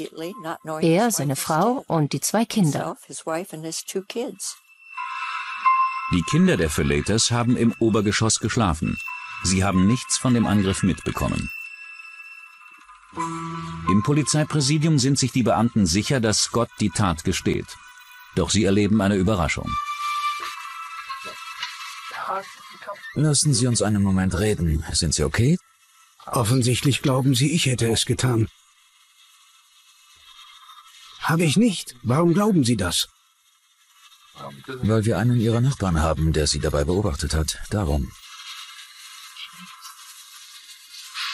Scott Felater behauptet, keinerlei Erinnerung an den Mord zu haben.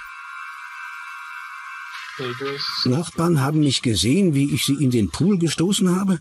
Sie machen Witze. Absolut nicht. Es tut mir leid. Ich erinnere mich an nichts. Freunde und Familie erzählen den Ermittlern, das Paar habe nie gestritten. Es hat nie einen offenen Konflikt zwischen der Mutter und dem Vater gegeben. Wenn es Unstimmigkeiten gab, wurden sie gütlich geregelt. Bei Jaminas Autopsie finden die Rechtsmediziner 44 Stichwunden sowie von Wasser durchtränktes Lungengewebe. Wir hatten die Frau mit zahlreichen Stichverletzungen in den Pool geworfen und unter Wasser gehalten. Und wir hatten auch den Ehemann, eine fromme, religiöse Person, die uns erzählt, dass nicht er es war, der das getan hat. Die Entscheidung musste also fallen zwischen glauben wir ihm oder machen wir weiter und klagen wir ihn an. Im Kofferraum von Scotts Auto in einem Plastikcontainer findet die Polizei ein blutverschmiertes Messer. Scotts Kleidung ist ebenfalls in dem Auto. Scott und Jamila Felater waren über 20 Jahre verheiratet. Scott ist Computeringenieur, Jamila hilft gelegentlich in der Vorschule. Sie waren ein Paar seit der Highschool. Jamila war die einzige Frau, die Scott je getroffen hat. Und ich glaube, für Jamila galt das auch. Während des Polizeiverhörs bestreitet Scott nicht, seine Frau getötet zu haben. Er wiederholt jedoch, sich an nichts erinnern zu können. Scotts Schwester bietet eine mögliche Erklärung an. Sie erzählt der Polizei vom Schlafwandeln ihres Bruders.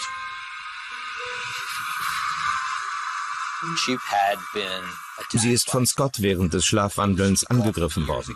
Das ist Jahre zuvor in Illinois gewesen, wo sie aufwuchsen. Sie hatte versucht, Scott zu wecken, während er im Haus schlafwandelte. Er erschrak durch ihre Störung und schleuderte sie quer durch den Raum. Dr. Martin Reuter arbeitet im Schlaflabor des St. Elisabeth Krankenhauses in Köln. Der Zustand des Schlafwandelns ist für ihn kein unbekanntes Phänomen.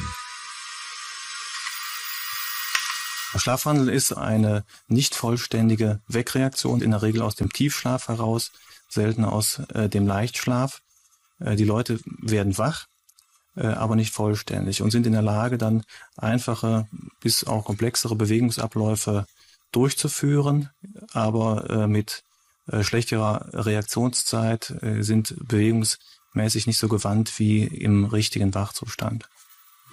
Schlafforscherin Dr. Rosalind Cartwright bestätigt, dass es Schlafwandeln gibt, auch wenn es selten vorkommt.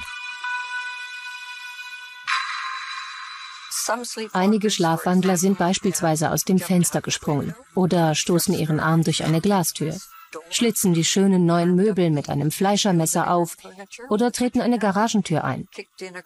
Alles Patienten von mir. Und einige greifen Personen an. Die Person, die am dichtesten daneben steht, wird angegriffen. So kehrt die Frage wieder, hat Scott Fillete geschlafwandelt, als er den Mord begangen hat? Um das herauszufinden, wird Scott einige Nächte in einem Schlaflabor überwacht. Im Schlaflabor würden wir, wenn es um Schlafwandeln geht, äh, vor allem eine Videoaufzeichnung mitlaufen lassen, äh, um zu erkennen und um aufzuzeichnen, äh, was passiert in der Nacht, was für Bewegungen der Patient macht, ob er spricht, ob er sich aufsetzt oder ob er das Bett verlässt.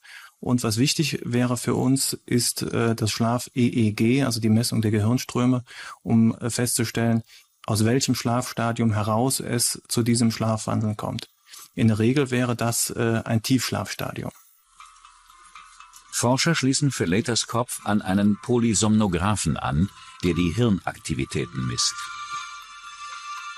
Ein Polysomnograph ist äh, unser aufwendiges Gerät, was wir im Schlaflabor benutzen, um die Schlafqualität zu messen. Wir messen die äh, Schlafstadien, Tiefschlaf, Leichtschlaf und Traumschlaf. Wir messen Atmung, wir messen den Puls, wir messen den Sauerstoffgehalt im Blut, die Körperlage, wir haben ein Schnarchmikrofon, wir haben äh, Kabelableitungen an den Beinen, um Beinbewegungen auch zu erfassen. Und wir fertigen immer auch eine Videoaufzeichnung an. Die Ergebnisse zeigen, dass Scott Filleta durchaus Symptome aufweist, die Schlafwandler haben. Einige Schlafwandler haben so etwas wie eine neurologische Unreife. Scott Filleta erzählt der Polizei, dass er an dem besagten Abend versucht hat, eine gebrochene Pumpe im Pool zu fixieren. Er war noch nicht fertig, als ihn seine Frau zum Essen rief und sich die Familie versammelte. Beim Essen erzählte er von Problemen bei der Arbeit und dass er nicht wüsste, wie er sie lösen solle. Das angesprochene Arbeitsproblem kann die mögliche Einstellung eines Computerchip-Projektes gewesen sein, für das Scott verantwortlich ist. Passiert dies, würden alle seine Mitarbeiter ihren Job verlieren. Scott behauptet, nach dem Essen am Computer gearbeitet zu haben und dann ins Bett gegangen zu sein. Jamila habe im Erdgeschoss auf dem Sofa ferngesehen. Dr. Cartwright glaubt, dass Scott mit den Gedanken an die unerledigte Poolarbeit ins Bett gegangen ist. Im Schlaf will er die Arbeit beenden. Es kann sein, dass unerledigte Aufgaben Auslöser für Schlafwandeln äh, sind. Es würde dann äh, aus dem Tiefschlaf heraus zu einer unvollständigen Wegreaktion kommen. Und äh, die unerledigte Aufgabe würde dann fortgesetzt. Das wäre allerdings eine Seltenheit. Scott Fellata steht auf, zieht sich an, nimmt eine Taschenlampe und ein Messer und geht zur Poolpumpe, um einen Plastikring zu schneiden. Als Jamila ihm folgt, erschreckt sie ihn und löst den gewaltsamen Angriff aus. Sie beginnen etwas zu tun, was dem stressauslösenden Ereignis ähnelt. Wenn sie dabei gestoppt werden, kommt es zu einer Art Kampf. Ich muss das jetzt machen.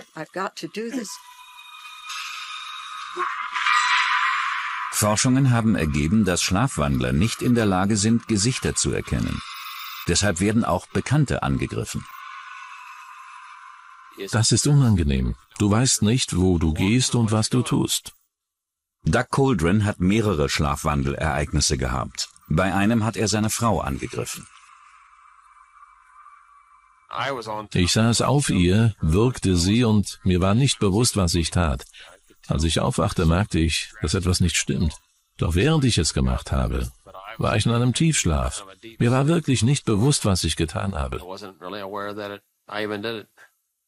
Es ist denkbar, dass Leute agieren, äh, schlagen, ungezielte Abwehrbewegungen machen, fuchteln oder auch äh, sprechen und schreien. Personen, die normal schlafen, gehen von einem Schlafstadium in das nächste, ohne aufzuwachen. Aus ungeklärter Ursache können Schlafwandler nicht erfolgreich von der Tiefschlafphase in die Traumschlafphase übergehen. Sie kommen in ein Zwischenstadium, nicht in die normale Schlaflosigkeit, aber auch nicht in kompletten Schlaf. Es ist zum Teil das eine, zum Teil das andere. Ein Teil des Gehirns funktioniert, als ob es wach ist. Ein Teil ist es nicht. Wenn Scott Verleter tatsächlich geschlafwandelt hat, während er das Verbrechen begangen hat, dann ist er nicht verantwortlich. Einen Präzedenzfall dazu gibt es in Toronto. Der 23-jährige Ken Parks ist freigesprochen worden, obwohl er seine Schwiegermutter umgebracht und seinen Schwiegervater angegriffen hat. Er fuhr 15 Meilen zum Haus seiner Schwiegermutter, ist ein paar Treppenstufen hinuntergestiegen, hat die Tür geöffnet und letztlich auf beide Personen eingestochen. Ich stimme zu, dass Schlafwandler in der Lage sind, gewalttätig zu werden. Wahrscheinlich gibt es über 100 publizierte Fälle von Personen, die offenbar schlafwandeln. Doch der Staatsanwalt ist nicht davon überzeugt, dass Scott Felater unschuldig ist.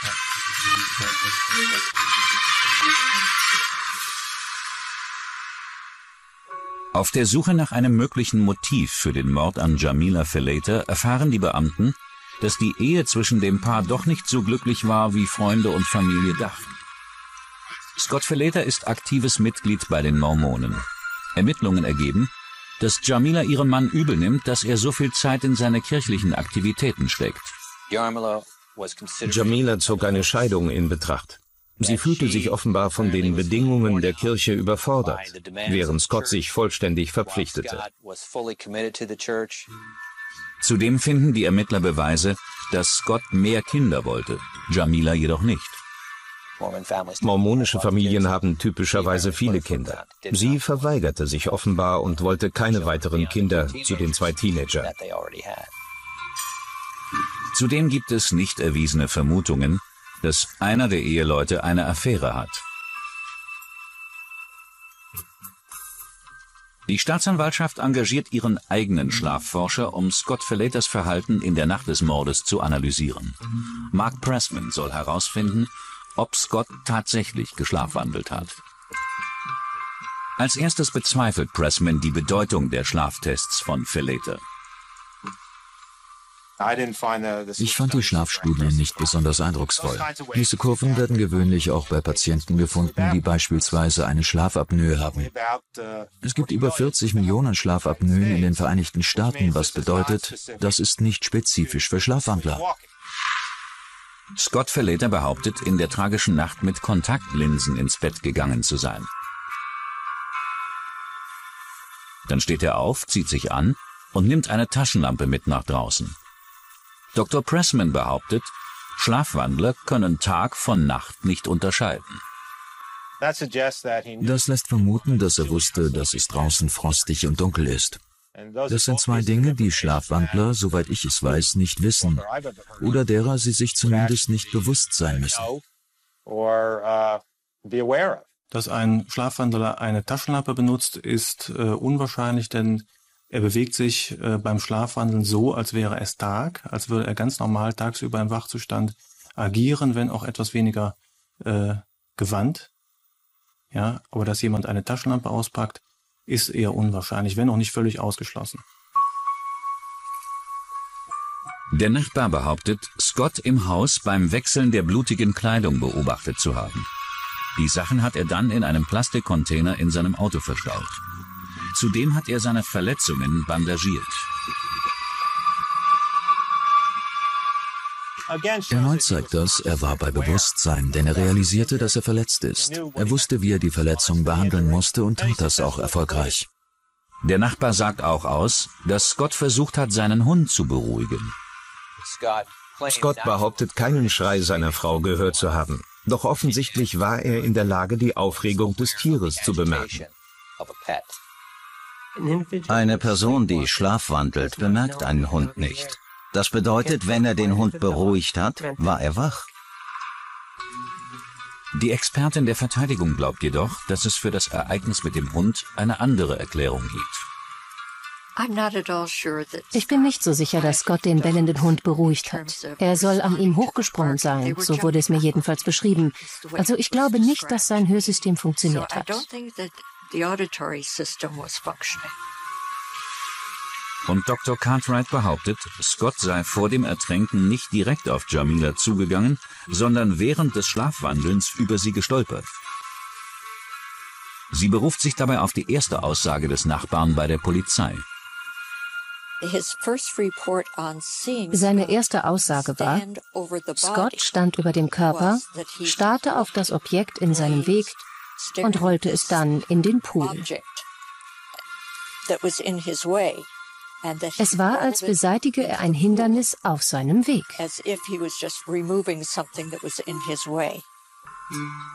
Außerdem haben Studien ergeben, dass Stress und Schlafmangel die Hauptauslöser für Schlafwandeln sind. Er war jemand mit einer Schlafwandelvergangenheit. Er hatte keine Erinnerung daran und keine Motivation. Er war verwirrt und ihn plagten Gewissensbisse. Ich denke, Teil der Faszination dieses Falles war es, zu versuchen, die Geheimnisse des Gehirns und Verstandes zu untersuchen. Wissen Sie, die letzte Grenze der medizinischen Wissenschaft ist das Gehirn. Es war zudem die Suche in den Geheimnissen einer Familie. Im Jahr 1999 wird Scott Filleta des Mordes an seiner Frau Jamila angeklagt. Er bekennt sich nicht schuldig.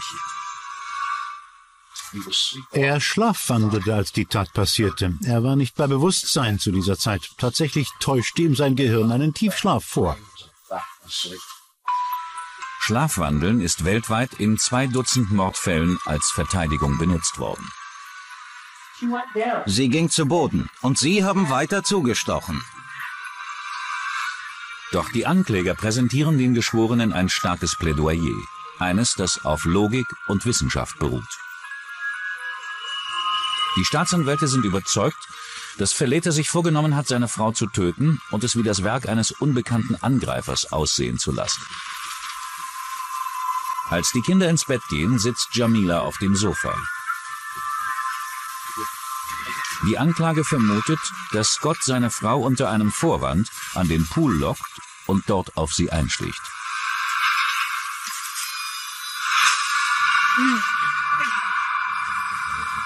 Danach wäscht er sich im Obergeschoss und bandagiert seine Hand. Mordwaffe und blutige Kleidung verstaut er in seinem Kofferraum. Auf dem Weg zurück zum Pool beruhigt Scott den Hund und bemerkt, dass Jamila noch atmet. Deshalb stößt er sie in den Pool und ertränkt sie.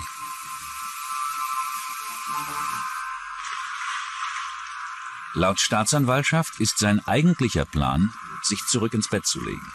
Am nächsten Morgen sollen die Kinder die Leiche ihrer Mutter finden. Man kann es sich richtig vorstellen. Er erwacht, bemerkt, dass seine Frau nicht da ist, weckt die Kinder und spielt den Entsetzten. Alle drei gehen ins Erdgeschoss und finden sie im Pool treibend, ermordet von einem unbekannten Täter. Das war sein Plan. Doch dieser Plan wird durchkreuzt, weil sein Nachbar, alles gesehen hat.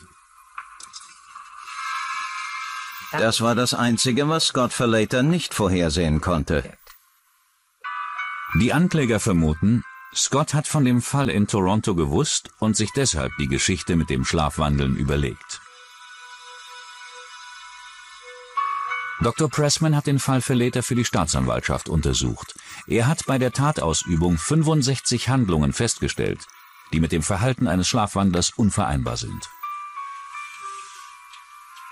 Er behauptet, allein die Berührung mit kaltem Wasser hätte gereicht, um das Schlafwandeln zu beenden.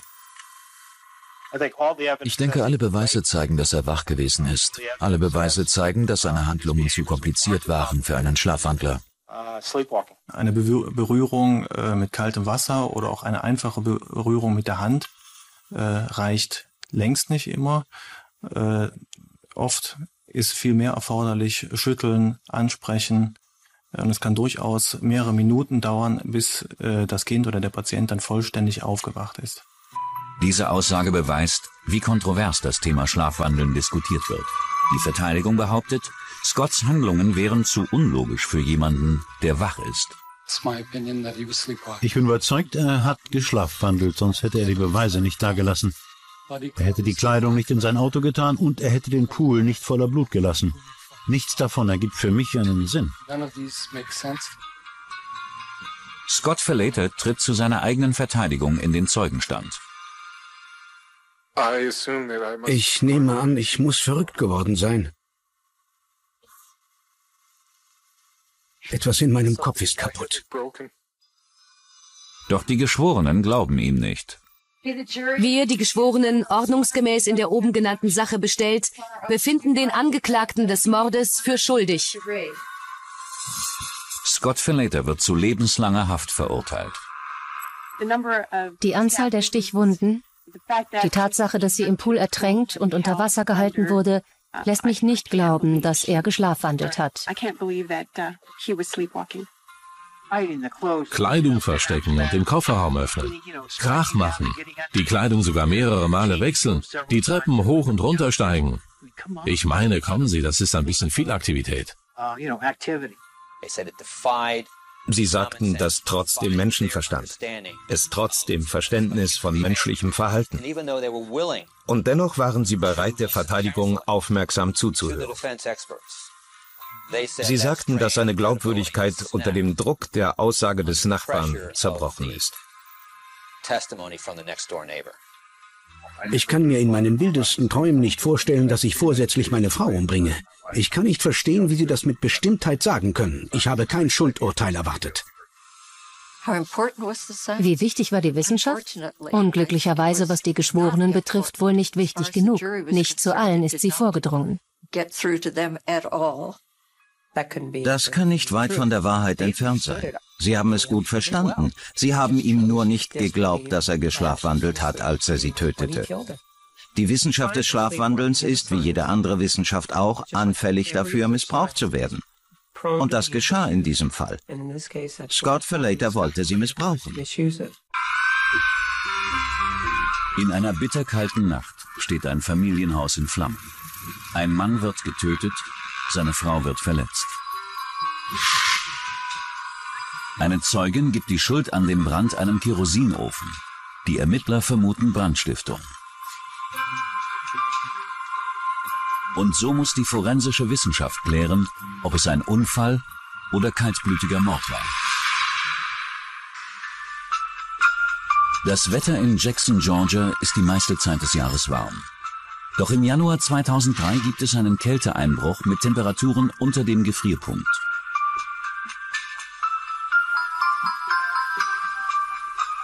Obstanbauer benutzen Kerosinöfen, um ihre Orangen zu retten.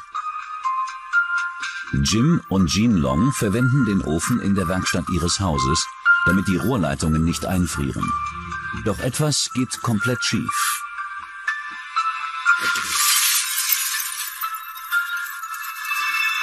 Als die Feuerwehr kommt, steht das Haus in Flammen. Jean Long ist dem Brand entkommen, ihr Ehemann Jim ist eingeschlossen.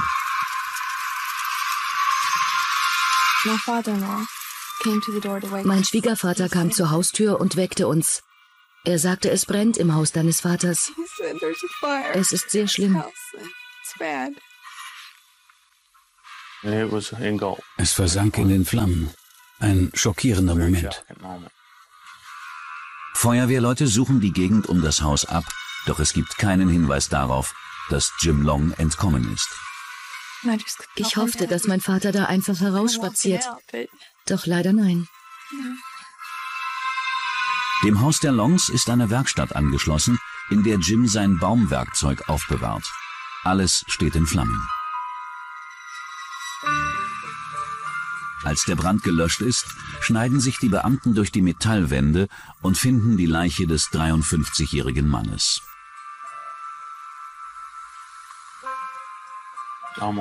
Es ist fast so, als glaube man nicht, was geschehen ist. Es war sehr schlimm, wie ein Traum, aus dem man aufwachen möchte. Jean wird ins Krankenhaus gebracht, wo kleinere Schrammen und Abschürfungen behandelt werden. Eine Wunde ist an ihrem Kinn. Sie berichtet den Ermittlern, dass ihr Mann versucht hat, den Ofen mit Kerosin zu befüllen und es dann zu einer Explosion gekommen ist. Er brannte und sie versuchte das Feuer mit ihren Händen auszuschlagen. Dabei fingen ihre Handschuhe Feuer. Jean behauptet, sie sei dann panisch ins Haus gelaufen, um die Feuerwehr zu alarmieren. In den Überresten des Brandes finden die Ermittler den Kerosinofen. Doch der Nachfüllkanister steht unbeschädigt vor der Werkstatttür. Das widerspricht Jeans Version der Geschichte. Ermittler Mike Overbay glaubt zudem, dass die Positionierung von Jims Leiche ebenfalls verdächtig ist. Es schien, als wären seine Knie gestreckt und die Arme über dem Kopf. Für mich sah es aus, als hätte ihn jemand in diese Stellung zu diesem bestimmten Ort gezogen oder getragen. Das war das Erste, was mir auffiel. Er lag nicht in dieser zusammengekrümmten Position, wie man es bei den meisten Bränden sieht. Brandopfer zeigen in einer Vielzahl von Fällen eine typische Haltung, und zwar die Reaktion, dass man sich schützen will und zusammenkrümmt. Insofern sind äh, Brandopfer in einer gestreckten Form eigentlich sehr ungewöhnlich. Zusätzlich findet Overbay Brandmuster um das Opfer herum, wie sie durch Brandbeschleuniger entstehen. Unter gewissen Umständen lässt sich das Ausbringen eines Brandbeschleuners auch im Nachhinein auf einem Boden erkennen. Das kommt sehr darauf an, was es für ein Boden ist. Es gibt äh, gewisse Steine, die porös sind, die Brandbeschleuniger aufnehmen, dadurch andere Abbrandverhalten zeigen. Äh, bei Kunststoffböden ohnehin. Es gibt auch bei Betonböden äh, die Möglichkeit, dass dort, wo der Brandbeschleuniger ausgebracht war, besonders hohe Temperaturen waren und der Beton abplatzt. Insofern ist es nicht regelmäßig, aber häufig der Fall, dass man das Ausbringen von Brandbeschleunigern im Nachhinein erkennen kann. Das suggerierte Overbay, dass James Long auf dem Boden gelegen hatte und Benzin oder ein anderer Brandbeschleuniger über ihn ausgeschüttet worden ist. Er wurde absichtlich angezündet. Auch Brandopfer kommen zur Autopsie in die Rechtsmedizin. Das Augenmerk bei der Sektion liegt jedoch auf besonderen Aspekten. Bei der Obduktion eines Brandopfers achte ich natürlich darauf, ob sich äußere Verletzungen finden, die nicht in Einklang sind mit der Brandeinwirkung.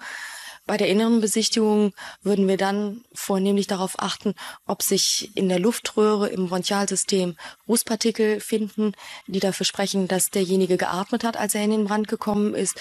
Und das Gleiche gilt für den Magen. Wir würden gucken, ob Rußpartikel verschluckt worden sind, was ebenfalls dafür sprechen würde, dass die Person zum Zeitpunkt des Brandes gelebt hat.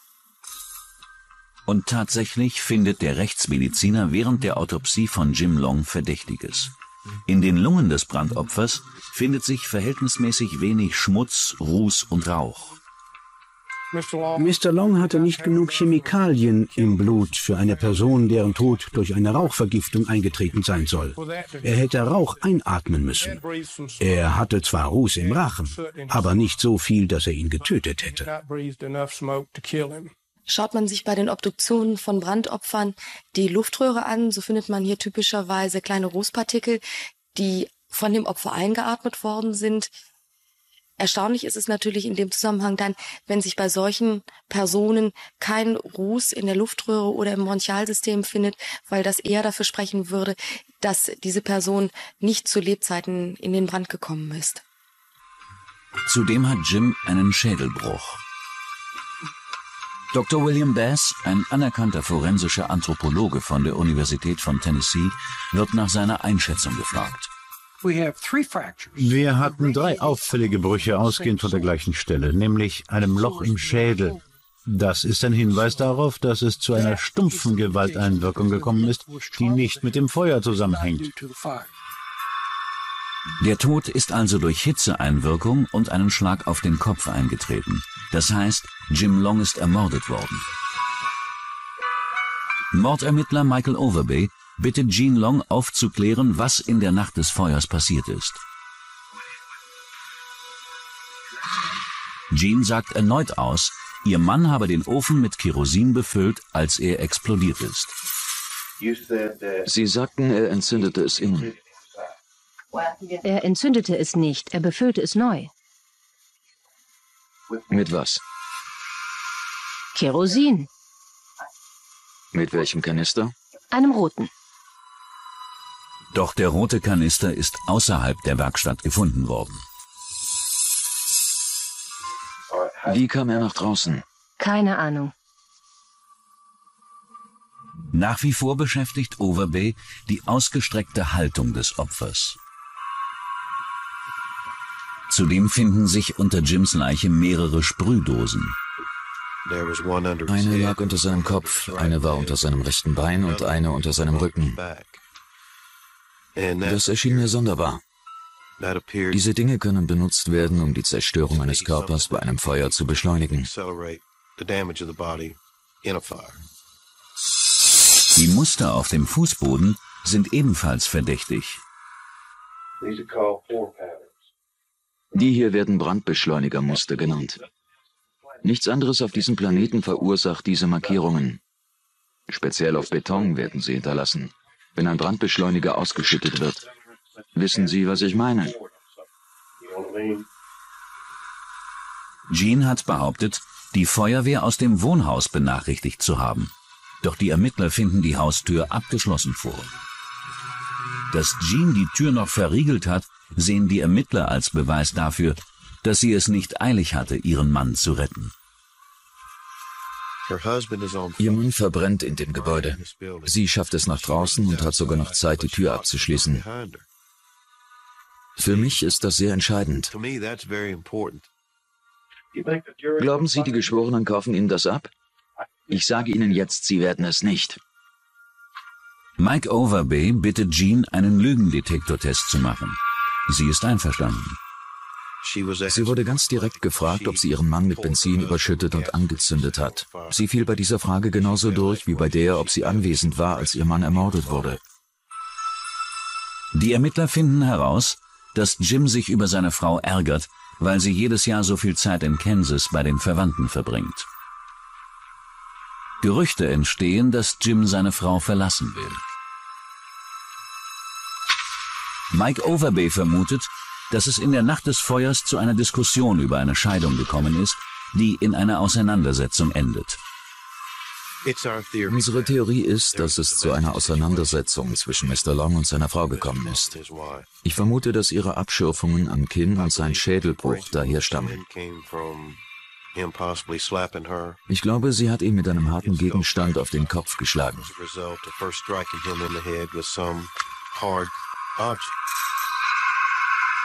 Overbay glaubt, dass Jean ihren Mann in Panik mit Benzin überschüttet und anzündet. Unbewusst nimmt sie den Kanister mit aus der Werkstatt, als sie die Feuerwehr alarmiert. Ich denke, das waren alles starke Indizien und wir hatten alle anderen Hypothesen für seinen Tod ausgeschlossen. Am Tag nach der Beerdigung ihres Mannes wird Jean Long der Brandstiftung und des Mordes angeklagt. Sie schien nicht sehr geschockt. Sie machte keine Aussage und verhielt sich, als würde sie es akzeptieren. Ihren Anwälten erzählt Jean erneut, dass es in der Werkstatt eine Explosion gegeben hat und dass es dafür in der Asche Beweise geben muss.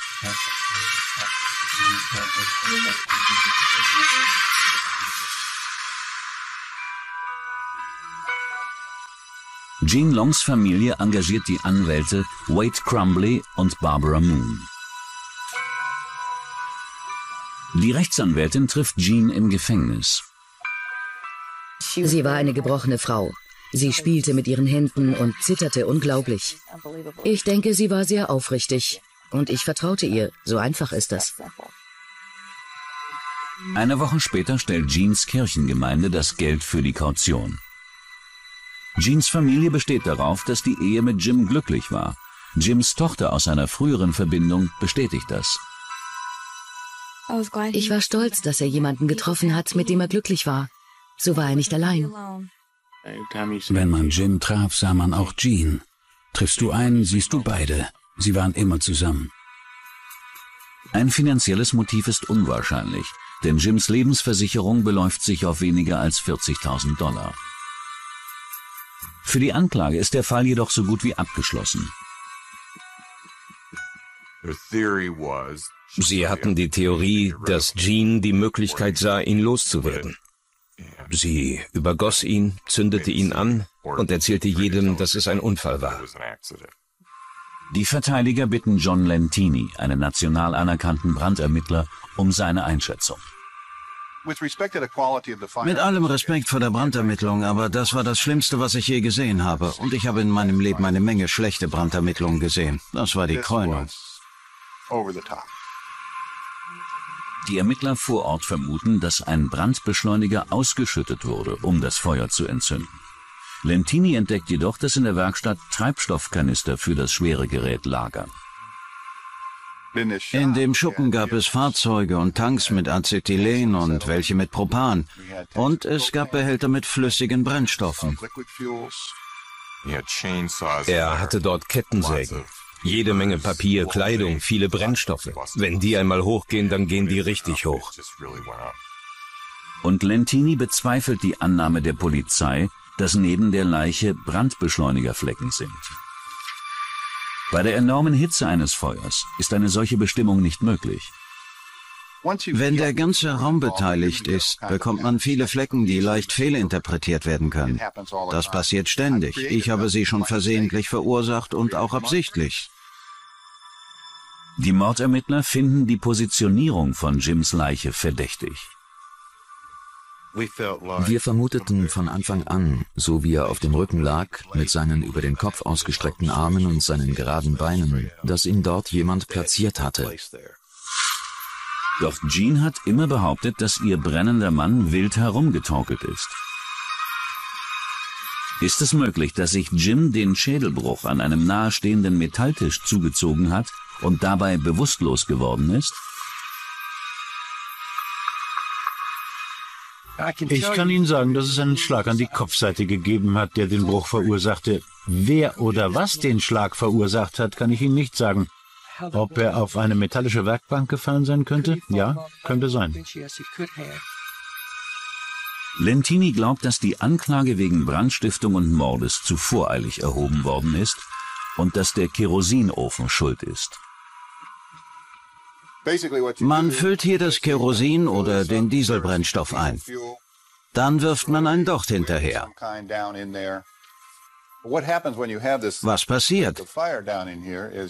In dem Feuermeer da unten wird jede Menge Ruß gebildet, der sich wie Holzkohle selbst entzünden kann. Wenn man also nicht genug Zeit zum Auskühlen gewährt, ist das sehr gefährlich. Dann führt Lentini mit einem Gaschromatographen eine Analyse der Rückstände durch. Überraschenderweise findet er Benzin und nicht Kerosin. Gasolin oder Benzin in dem Sinne äh, und äh, Kerosin sind beides Treibstoffe. Kerosin kennt man äh, zum Beispiel bei Flugzeugen. Äh, vereinfacht kann man sagen, Kerosin äh, ist eine Art von Dieseltreibstoff, während Benzin in den Autos, äh, Benzinmotoren verbrannt wird. Beide unterscheiden sich in ihrer Viskosität äh, und ihren, ihren Entzündungsverhalten. Während Benzin bei relativ niedrigen Temperaturen entflammt, äh, ist das bei Kerosin nicht der Fall. Der braucht man höhere Temperaturen. Und das ist der optische Beweis. Während das Kerosin auf die Flamme kaum reagiert, entzündet sich das wenige Benzin sofort. Der Unterschied in der Entflammbarkeit von Kerosin und Benzin ist enorm. Ich habe mit Bränden zu tun gehabt, bei denen Kerosinöfen versehentlich mit Benzin befüllt wurden. Das endete immer an Großfeuern.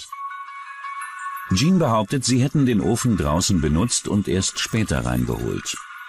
4,5 Liter Benzin entsprechen ungefähr 20 Stangen Dynamit.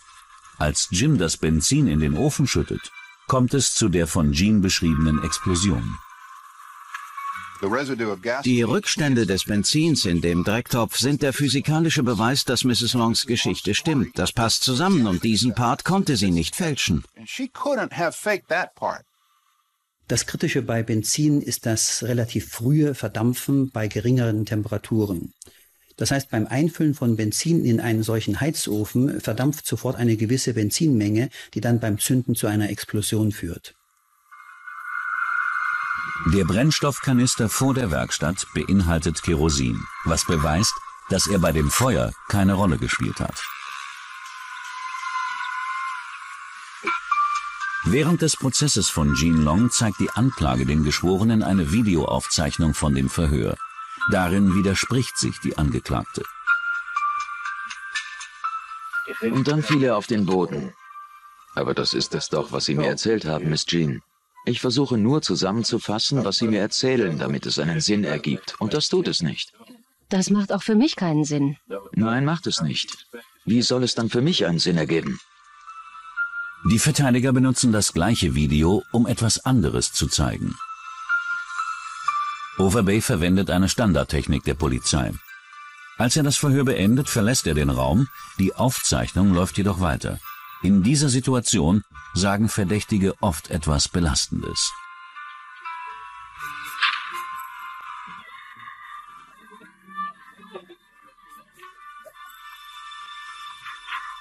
Diesem Fall ist es jedoch anders.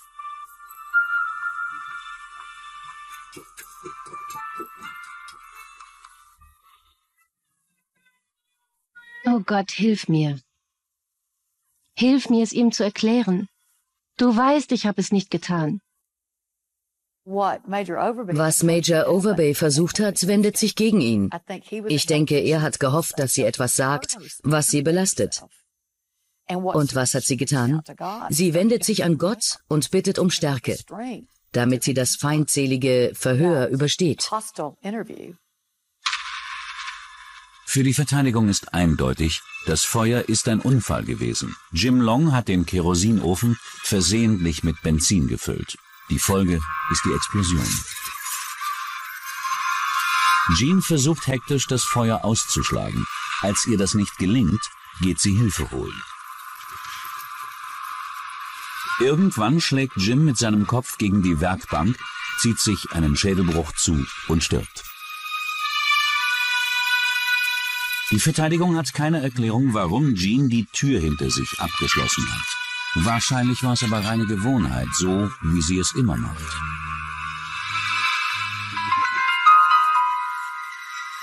Die Angeklagte tritt zu ihrer eigenen Verteidigung in den Zeugenstand. Sie war sehr aufrichtig, jedoch erschrocken über das, was ihr passiert ist. Sie durchlebte noch einmal die Geschehnisse der Nacht. Die Geschworenen erfahren nie etwas über die Ergebnisse des Lügendetektortests. Lügendetektortests sind unzulässig. Sie ist zuverlässig. Punkt. Jeans Familienangehörige glauben, dass Medikamente sie beeinflusst haben. Sie war richtig aufgeputscht. Sie nahm die Pillen, die ihr im Krankenhaus verschrieben worden sind, damit sie ruhig bleibt und alles ein bisschen besser ertragen kann. Nach acht Tagen Beweisaufnahme beraten sich die Geschworenen nur drei Stunden, bevor sie ihr Urteil verkünden. Sie befinden Jean Long in allen Anklagepunkten für nicht schuldig. Dieser Prozess hätte nie stattfinden dürfen. Sie hätten sich Rat bei einem Experten holen sollen. Ich bin ausgebildet in Verbrechenserkennung, Tatortanalyse und Rekonstruktion.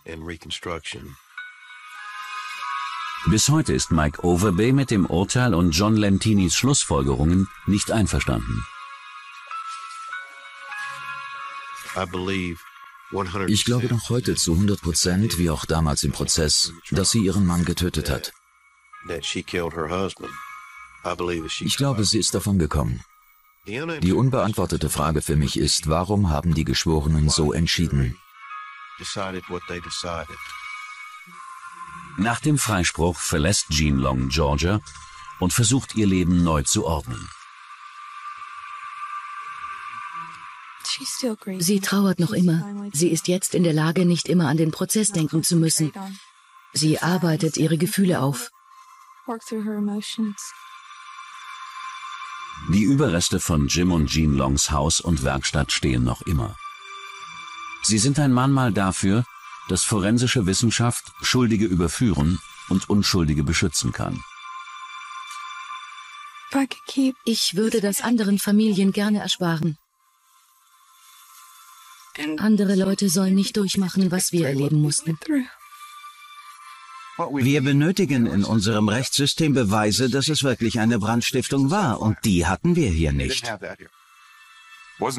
Das war kein Verbrechen, bei dem die falsche Person angeklagt war. Es gab kein Verbrechen.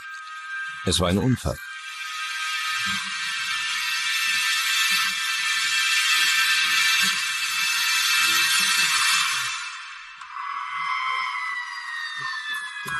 In den 50er Jahren sucht die Polizei überall in Kalifornien nach einem Mann, der in einer Nacht eine Serie von Verbrechen begeht.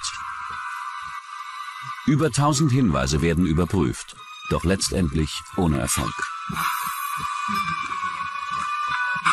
Fast fünf Jahrzehnte später enthüllen Computertechnologie und Handschriftenanalyse die alte Weisheit, dass man zwar flüchten, sich aber nicht immer verstecken kann. Mile and mile of sand warmed by the sun. Beach beauties everywhere. In den 50er Jahren ist das Leben noch unbeschwert. Es ist das goldene Zeitalter des Fernsehens mit Serien, die die Unschuld der Zeit darstellen. Beaver, wie kannst du beim Zählen Geld verlieren? Jedes Mal, wenn ich's ansehe, fällt mir etwas ein, was ich brauche. Automobile werden nicht nur benutzt, um damit herumzufahren. Die Rückbank war damals das, was heute Motels für junge Leute sind. Du hattest die Chance, ein Mädchen zu küssen, ohne gestört zu werden. Und genau das ist es, was Bob DeWar am 22. Mai 1957 macht. Mit seiner Verabredung und einem anderen Paar hält er auf einem abgelegenen Parkplatz in der Nähe von El Segundo. Die Gegend ist als Lovers Lane bekannt. Die Fenster waren beschlagen, ganz normal eben, wenn du mit deiner Freundin eine Stunde lang küssend im Auto sitzt oder wie lange auch immer. Als Bob das Fenster für etwas Frischluft öffnet, bemerkt er, dass sie nicht allein sind. Ich sah die Waffe durchs Fenster kommen. Mein Leben zog in Sekundenbruchteilen an mir vorbei. Der Mann, weiße Hautfarbe, Anfang 20, verlangt Geld und Schmuck. Dann fordert er die Paare auf, aus dem Auto zu steigen und sich zu entkleiden.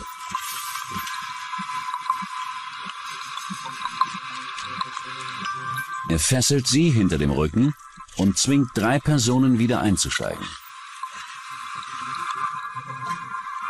Dann vergewaltigt er eines der Mädchen. Wir konnten ihn nicht stoppen, er hatte die Waffe. Später müssen sich alle am Straßenrand aufreihen. Ich war mir sicher, dass er das Mädchen umbringt, da sie ihn gesehen hatte, und dass er auch uns tötet. So standen wir da draußen nackt und warteten darauf, dass die Waffe losgeht. Doch der Mann fährt davon, ohne einen Schuss abzugeben. Bevor die Teenager die Polizei alarmieren können, fährt ihr Angreifer über eine rote Ampel und wird dabei von zwei Beamten beobachtet. Das Auto war noch nicht als gestohlen gemeldet und deshalb nicht im System. Es gab keinen Grund anzunehmen, dass das Auto zu einem Verbrechen benutzt worden ist. Die Beamten signalisieren dem Fahrer, er möge stoppen. Er steigt aus dem Auto und beginnt plötzlich zu schießen. Auf beide Polizisten je dreimal. Das letzte, was Officer Phillips machte, er zog selbst seine Waffe und schoss sechsmal in die Richtung des Fliehenden. Als die Rettungskräfte eintreffen, sind beide Polizisten tot. Das gestohlene Auto wird nach kurzer Zeit vier Häuserblöcke weiter gefunden. Es hat zwei Einschusslöcher in der Heckscheibe und eins im Kofferraum. Wie ist es einem sterbenden Officer mit drei Kugeln im Rücken möglich, sich aufzurichten und ein davonrasendes Auto dreimal zu treffen? Das ist einfach erstaunlich. Zwei Kugeln werden gefunden, doch die dritte fehlt. Ist es möglich, dass der sterbende Officer Phillips den Angreifer getroffen hat? Wenn man sich diese Fotografien ansieht, er muss getroffen worden sein. In El Segundo trauert die ganze Stadt um die erschossenen Polizisten. Die Bevölkerung ist geschockt. Der 25-jährige Milton Curtis war erst seit zwei Monaten bei der Einheit. Er hinterlässt seine schwangere Frau und zwei Kinder. Ich verstand nicht, was das alles sollte. Es war, als ob er schlief. Warum kam er nicht zum Schlafen nach Hause? Sie sagten, er sei im Himmel. Das zweite Opfer ist der 29-jährige Richard Phillips. Er ist verheiratet und hat drei Kinder. Seine Tochter Carolyn erinnert sich an ein Versprechen, das die Polizei gemacht hat. Wir schwören, egal wo du bist, egal wie viel Zeit vergeht, wir werden dich finden und den Fall lösen. Schon bald finden die Ermittler heraus, dass das gestohlene Tatfahrzeug Bob DeWar gehört. DeWar beschreibt den Mörder als weißen Mann, Anfang 20, 1,90 Meter groß, 80 Kilo schwer, mit schwarzem Haar und einem merkwürdigen Akzent. Er kam nicht aus der Gegend. Er sprach leise, ruhig und sehr langsam. Es klang nicht sehr gebildet, ein bisschen breit. Howard Speaks hat das gestohlene Auto untersucht. Als sie mich anriefen und sagten, dass zwei Polizisten erschossen worden sind, wusste ich um die Wichtigkeit der Situation. Wenn es Beweise zu finden gab, musste ich sie finden. Über seine Entdeckungen ist Speaks jedoch enttäuscht. Am Rückspiegel war nichts. Das ist normalerweise ein guter Platz, um Fingerabdrücke zu finden, denn der Fahrer muss ihn ja ausrichten. Doch es war nichts am Rückspiegel zu finden. Am Lenkrad ist das anders. Speaks findet zwei Teile eines Fingerabdrucks, die vermutlich beide vom linken Daumen stammen. Ich habe die beiden Teile, die beiden Seiten der Abdrücke zusammengesetzt und so einen ganzen Daumenabdruck erhalten. Die Wahrscheinlichkeit, zwei Teilabdrücke eines Fingers zu finden, ist sehr gering. In meinen 18 Jahren Fingerspurarbeit haben wir so etwas noch nie gemacht. Die Ermittler vergleichen den linken Daumenabdruck mit allen bekannten Abdrücken in ihrer Verbrecherkartei. Die ganze Analyse wird per Hand durchgeführt. Es dauert mehrere Wochen, doch kein Abdruck stimmt überein. Tausende Personen wurden abgeglichen. Doch am Ende der zahlreichen Überprüfungen war ich mir nicht sicher, ob er jemals identifiziert wird. Uh, Die Teenager haben ausgesagt, dass der Angreifer einen südlichen Akzent gehabt habe. Deshalb vermuten die Ermittler, er könne von der nahegelegenen Militärbasis kommen. Ich verbrachte eine Woche damit, die Fingerabdrücke der Armeeangestellten zu überprüfen. Doch auch das bringt nichts. Ich war überzeugt, er würde gefasst. Doch nach einer längeren Zeitspanne war es, als hätte sich nichts getan. Alles verlief im Sande. Es dauert drei Jahre, bis die Polizei ihren ersten wichtigen Durchbruch erzielt. Ein Hausbesitzer in der Nähe des Tatortes findet in seinem Garten den Teil einer Handschusswaffe. Er hat seinen Garten gemacht und dabei die Trommel eines Revolvers gefunden. Vielleicht hatte die etwas mit dem Rahmen zu tun, den er ein Jahr zuvor gefunden hatte. Er ging in seine Garage, steckte beides zusammen und es passte. Die Polizei identifiziert die Waffe als einen neunschüssigen Harrington Richardson Revolver Kaliber .22. Anhand der Seriennummer enthüllen die Beamten, dass die Pistole von einem G.D. Wilson bei Sears in Shreveport, Louisiana gekauft worden ist. Als sie den Verkäufer verhörten, vermutete dieser, dass der Täter nicht aus der Stadt käme. Sein Akzent hätte nicht nach Louisiana geklungen. Er klang mehr südlich. Am Tag, als die Waffe gekauft wurde, hat ein George D. Wilson in der YMCA gegenüber von Sears ein Zimmer gemietet. Wir waren tatsächlich in dem Raum, den George Wilson gemietet hatte. Vom Fenster aus konnte man den Sears-Laden sehen. Es war in irgendeiner Art und Weise überwältigend, da zu sein und zu versuchen herauszufinden, was in dem Gehirn des Mannes vorgegangen ist, als er dort war. George Wilson gibt seine Heimatadresse mit Miami, Florida an. Die Adresse schien in Rock Quarry zu sein, doch dort war nichts. Über vier Jahre haben sie jede Person mit diesem Namen in den Vereinigten Staaten überprüft. Doch nichts kommt dabei heraus. Und schon bald ist klar, George Wilson ist nicht der richtige Name des Mörders.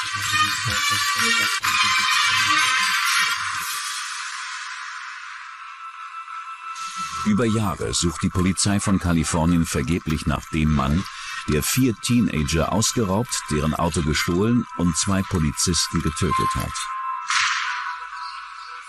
Trotz einiger vielversprechender Hinweise gelingt es den Ermittlern nicht, einen Verdächtigen zu finden. Spuren nahmen wir in diesem Fall in den 70er, 80er und 90er Jahren auf. Spuren waren Personen, die etwas mit dem Fall zu tun haben könnten. Jeder, der bei Lovers Lane mit einer Waffe auftauchte, und jeder, der auf die gleiche Weise Verbrechen beging, wurde zu einer Spur. Ich finde es unvorstellbar. Mit dieser Ermittlung hätte ich nichts zu tun haben wollen. Das hätte mich überfordert. Dann im September 2002, nahezu fünf Jahrzehnte später, ruft eine Frau bei der Polizei von El Segundo an. Sie erzählt eine unglaubliche Geschichte. Sie behauptet, ihr Onkel habe damit geprahlt, in den 50er Jahren zwei Polizisten umgebracht zu haben. Dieser Anruf brachte die Hoffnung zurück. Als die Polizei den Mann mit den Vorwürfen konfrontiert, bestreitet er alles. Seine Fingerabdrücke werden mit denen aus dem Tatfahrzeug verglichen. Sie stimmen nicht überein. Doch diese Geschehnisse lenken die Aufmerksamkeit einer neuen Expertengeneration auf den Fall. Dale Falcon und Don Kier beschließen, sich den gesicherten Daumenabdruck noch einmal genau anzusehen. Mittlerweile hat die Computertechnologie Einzug gehalten. Der Fingerabdruck wird digital bearbeitet, sodass die Merkmale besser zu erkennen sind als beim Original mit Tinte. Manchmal gibt es Bereiche, die sind nicht klar. Die können verwischt sein oder Merkmale sind nicht eindeutig. Der Computer zählt und liest diese als besondere Charakteristika. Der Fingerabdruck des Mörders wird in eine Datenbank namens AFIS eingegeben. Das automatisierte Fingerabdruck-Identifizierungssystem, kurz AFIS, ist mittlerweile weltweit im Einsatz und erspart die Suche per Hand. Auch die Ermittler vom LKA Niedersachsen setzen AFIS ein. Der Vorteil von AFIS liegt darin, dass man in wesentlich größeren Datenbeständen recherchieren kann mit einer relativ hohen Trefferwahrscheinlichkeit. Der Vorteil liegt darin, dass man überhaupt in der Lage ist, große Datenbestände überhaupt aufzubauen ähm, weil eben durch dieses automatisierte Verfahren so viel Zeit nicht mehr notwendig ist, wie das zum Beispiel vorher bei einem ja, manuell äh, gestützten Bund-Länder-System der Fall war. Dort musste also jedes einzelne Merkmal von Hand gesetzt werden und dann in den Rechner eingegeben werden. Ähm, diese Dinge übernimmt heute die Maschine. 47 Millionen Fingerabdrucksätze werden verglichen und einer scheint tatsächlich zu passen. Wir standen vor dem Computer und starrten auf den Bildschirm. Alle Rillenstrukturen und die anderen Informationen stimmten. Meine Worte waren, oh mein Gott. Ich konnte es nicht glauben. Ich musste mich setzen und ließ es sie wiederholen, um sicherzugehen, dass sie keinen Witz machten. Der Abdruck gehört Gerald Mason, der mittlerweile 70 Jahre alt ist. Er lebt in Columbia, South Carolina und ist 1956 wegen eines Einbruchs festgenommen und registriert worden. Die Behörden in South Carolina haben gerade zwei Monate vor der Abfrage ihre Fingerabdrücke in die landesweite Datenbank eingegeben. Mason ist verheiratet gewesen, hat Kinder und Enkel. Er besitzt einige Tankstellen und ist seit dem Arrest in den 50er Jahren nicht mehr polizeiauffällig gewesen. Nun hatten wir einen Verdächtigen und waren dennoch besorgt. Wir hatten einen Fingerabdruck, jedoch sehr alt. Aber sonst hatten wir nichts. Bob DeWar, eines der Überfallopfer, wird zu einer Gegenüberstellung gebracht. Er kann jedoch Mason nicht als den gesuchten Mann identifizieren. Die Polizei benötigt weitere Beweise. Sie brauchten etwas mehr, und das Mehr war ich. Der Mann, der 1956 die Mordwaffe in Shreveport gekauft hat, hat seinen Namen auf einem Unterkunftsnachweis hinterlassen. Paul Edholm ist ein forensischer Schriftsachverständiger. Er soll die Unterschrift von Gerald Mason mit der des Übernachtungsgastes aus dem YMCA vergleichen. Wir achten darauf, ob Dokumente freihändig geschrieben sind, mit dem gleichen Schwung, der gleichen Größenrelation, der gleichen Ausrichtung zur Grundlinie, wie sie geformt sind und ob sie offene oder geschlossene Schleifen haben. Wie wurde interpunktiert, wie ist der I-Punkt und der T-Strich. Sofort bemerkt Edholm einige Buchstaben, die besonders hervorstechen. Das erste war das große G. Wir hatten es in George und in Gerald. Die Größenrelation, die Breite der Buchstaben, der Schwung, die Anzahl der Striche, um den Buchstaben zu formen, jedes dieser Merkmale stimmte. Und das war sehr wichtig. Es gibt weitere Übereinstimmungen beim Buchstaben D und bei S, O, N. Und noch etwas ist überraschend. Ich bemerkte, dass sich die Handschrift Mr. Masons von 1957, als er 23 Jahre alt war, bis 1999 nicht ein bisschen geändert hatte. Sie war exakt gleich. Paul Edholm ist überzeugt, dass Gerald Mason mit dem Namen George Wilson unterschrieben hat. Nahezu fünf Jahrzehnte nach dem Verbrechen wird Mason festgenommen und des Mordes angeklagt. Als sie uns vorstellten und ihm mitteilten, dass wir Mordermittler sind, war er ein wenig irritiert und sagte, ihr seid wegen damals hier? Das ist so lange her, ich kann nicht glauben, dass ihr mich mit so etwas langweilt. 45 oder 46 Jahre später. Aufgrund der Beweise geht die Anklage davon aus, dass Gerald Mason die Waffe in Louisiana gekauft hat. Danach hat er sich als George D. Wilson im YMCA eingebucht. Mason ist ein Herumtreiber, als er 1957 nach Kalifornien kommt. Er betrinkt sich gerade in der Nähe des Hawthorne Airport, als er Bob DeWars Auto in Lovers Lane parken sieht. Er überfällt die Teenager, vergewaltigt ein Mädchen von ihnen und stiehlt das Auto. Auf seiner Flucht fährt Mason über eine rote Ampel. Zwei Beamte sehen das und stoppen ihn. Die Beamten ahnen nicht, dass das Auto gestohlen ist. Mason steigt aus dem Auto, damit die Polizisten die gestohlenen Gegenstände auf dem Rücksitz nicht sehen. Als Officer Phillips sich abwendet, treffen ihn drei Schüsse in den Rücken. Drei weitere töten Officer Curtis durch die Windschutzscheibe. Während der Angreifer flüchtet, feuert Officer Phillips seinerseits drei Schüsse ab. Einer geht durch den Kofferraum und trifft Mason vermutlich in den Rücken. Als Gerald Mason verhaftet wird, bitten ihn die Ermittler, sein Hemd auszuziehen. Und tatsächlich hat er eine Schusswunde am Rücken. Der Beweis, dass Officer Phillips getroffen hat. Das Letzte, was er in seinem Leben getan hat, war, den Mann für immer zu kennzeichnen, der ihn und seinen Partner getötet hat. Das ist sehr beeindruckend und fast so, als würde jemand aus seinem Grab zu dir sagen, meine Damen und Herren, ich zeige Ihnen, wer es ist. Ich habe ihn mit meinen Schüssen gekennzeichnet. Soweit ich weiß, ist das nie in den Medien veröffentlicht worden. Ich fragte, warum haben Sie das nicht verraten? Er antwortete, es sollte niemand wissen. Wir wollten nicht, dass er eine plastische Operation machen lässt. Das war beeindruckend. Die Herkunft der Waffe wurde bis nach Shreveport zurückverfolgt. Die Handschrift ist Masons und auch der Daumenabdruck auf dem Lenkrad stammt von ihm.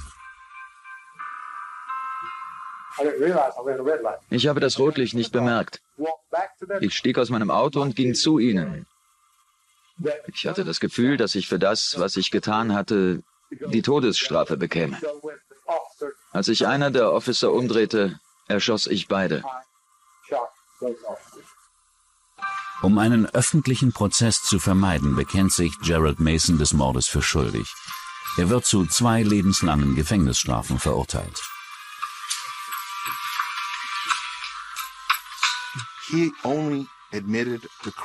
Er hat die Tat nur aus persönlichem Interesse gestanden, damit seine Familie, seine Frau und seine Enkel nicht hören, wie er das Mädchen vergewaltigt hat. Er opferte das Leben von zwei Polizeibeamten, um seiner Verhaftung zu entkommen. Es ist unmöglich, so vielen Personen zu verdeutlichen, wie leid es mir tut. Ich verstehe nicht, warum ich das getan habe. Das widerspricht total dem, an was ich glaube. Das passt nicht in mein Leben. Das ist nicht die Person, die ich kenne. Ich verabscheue diese Verbrechen.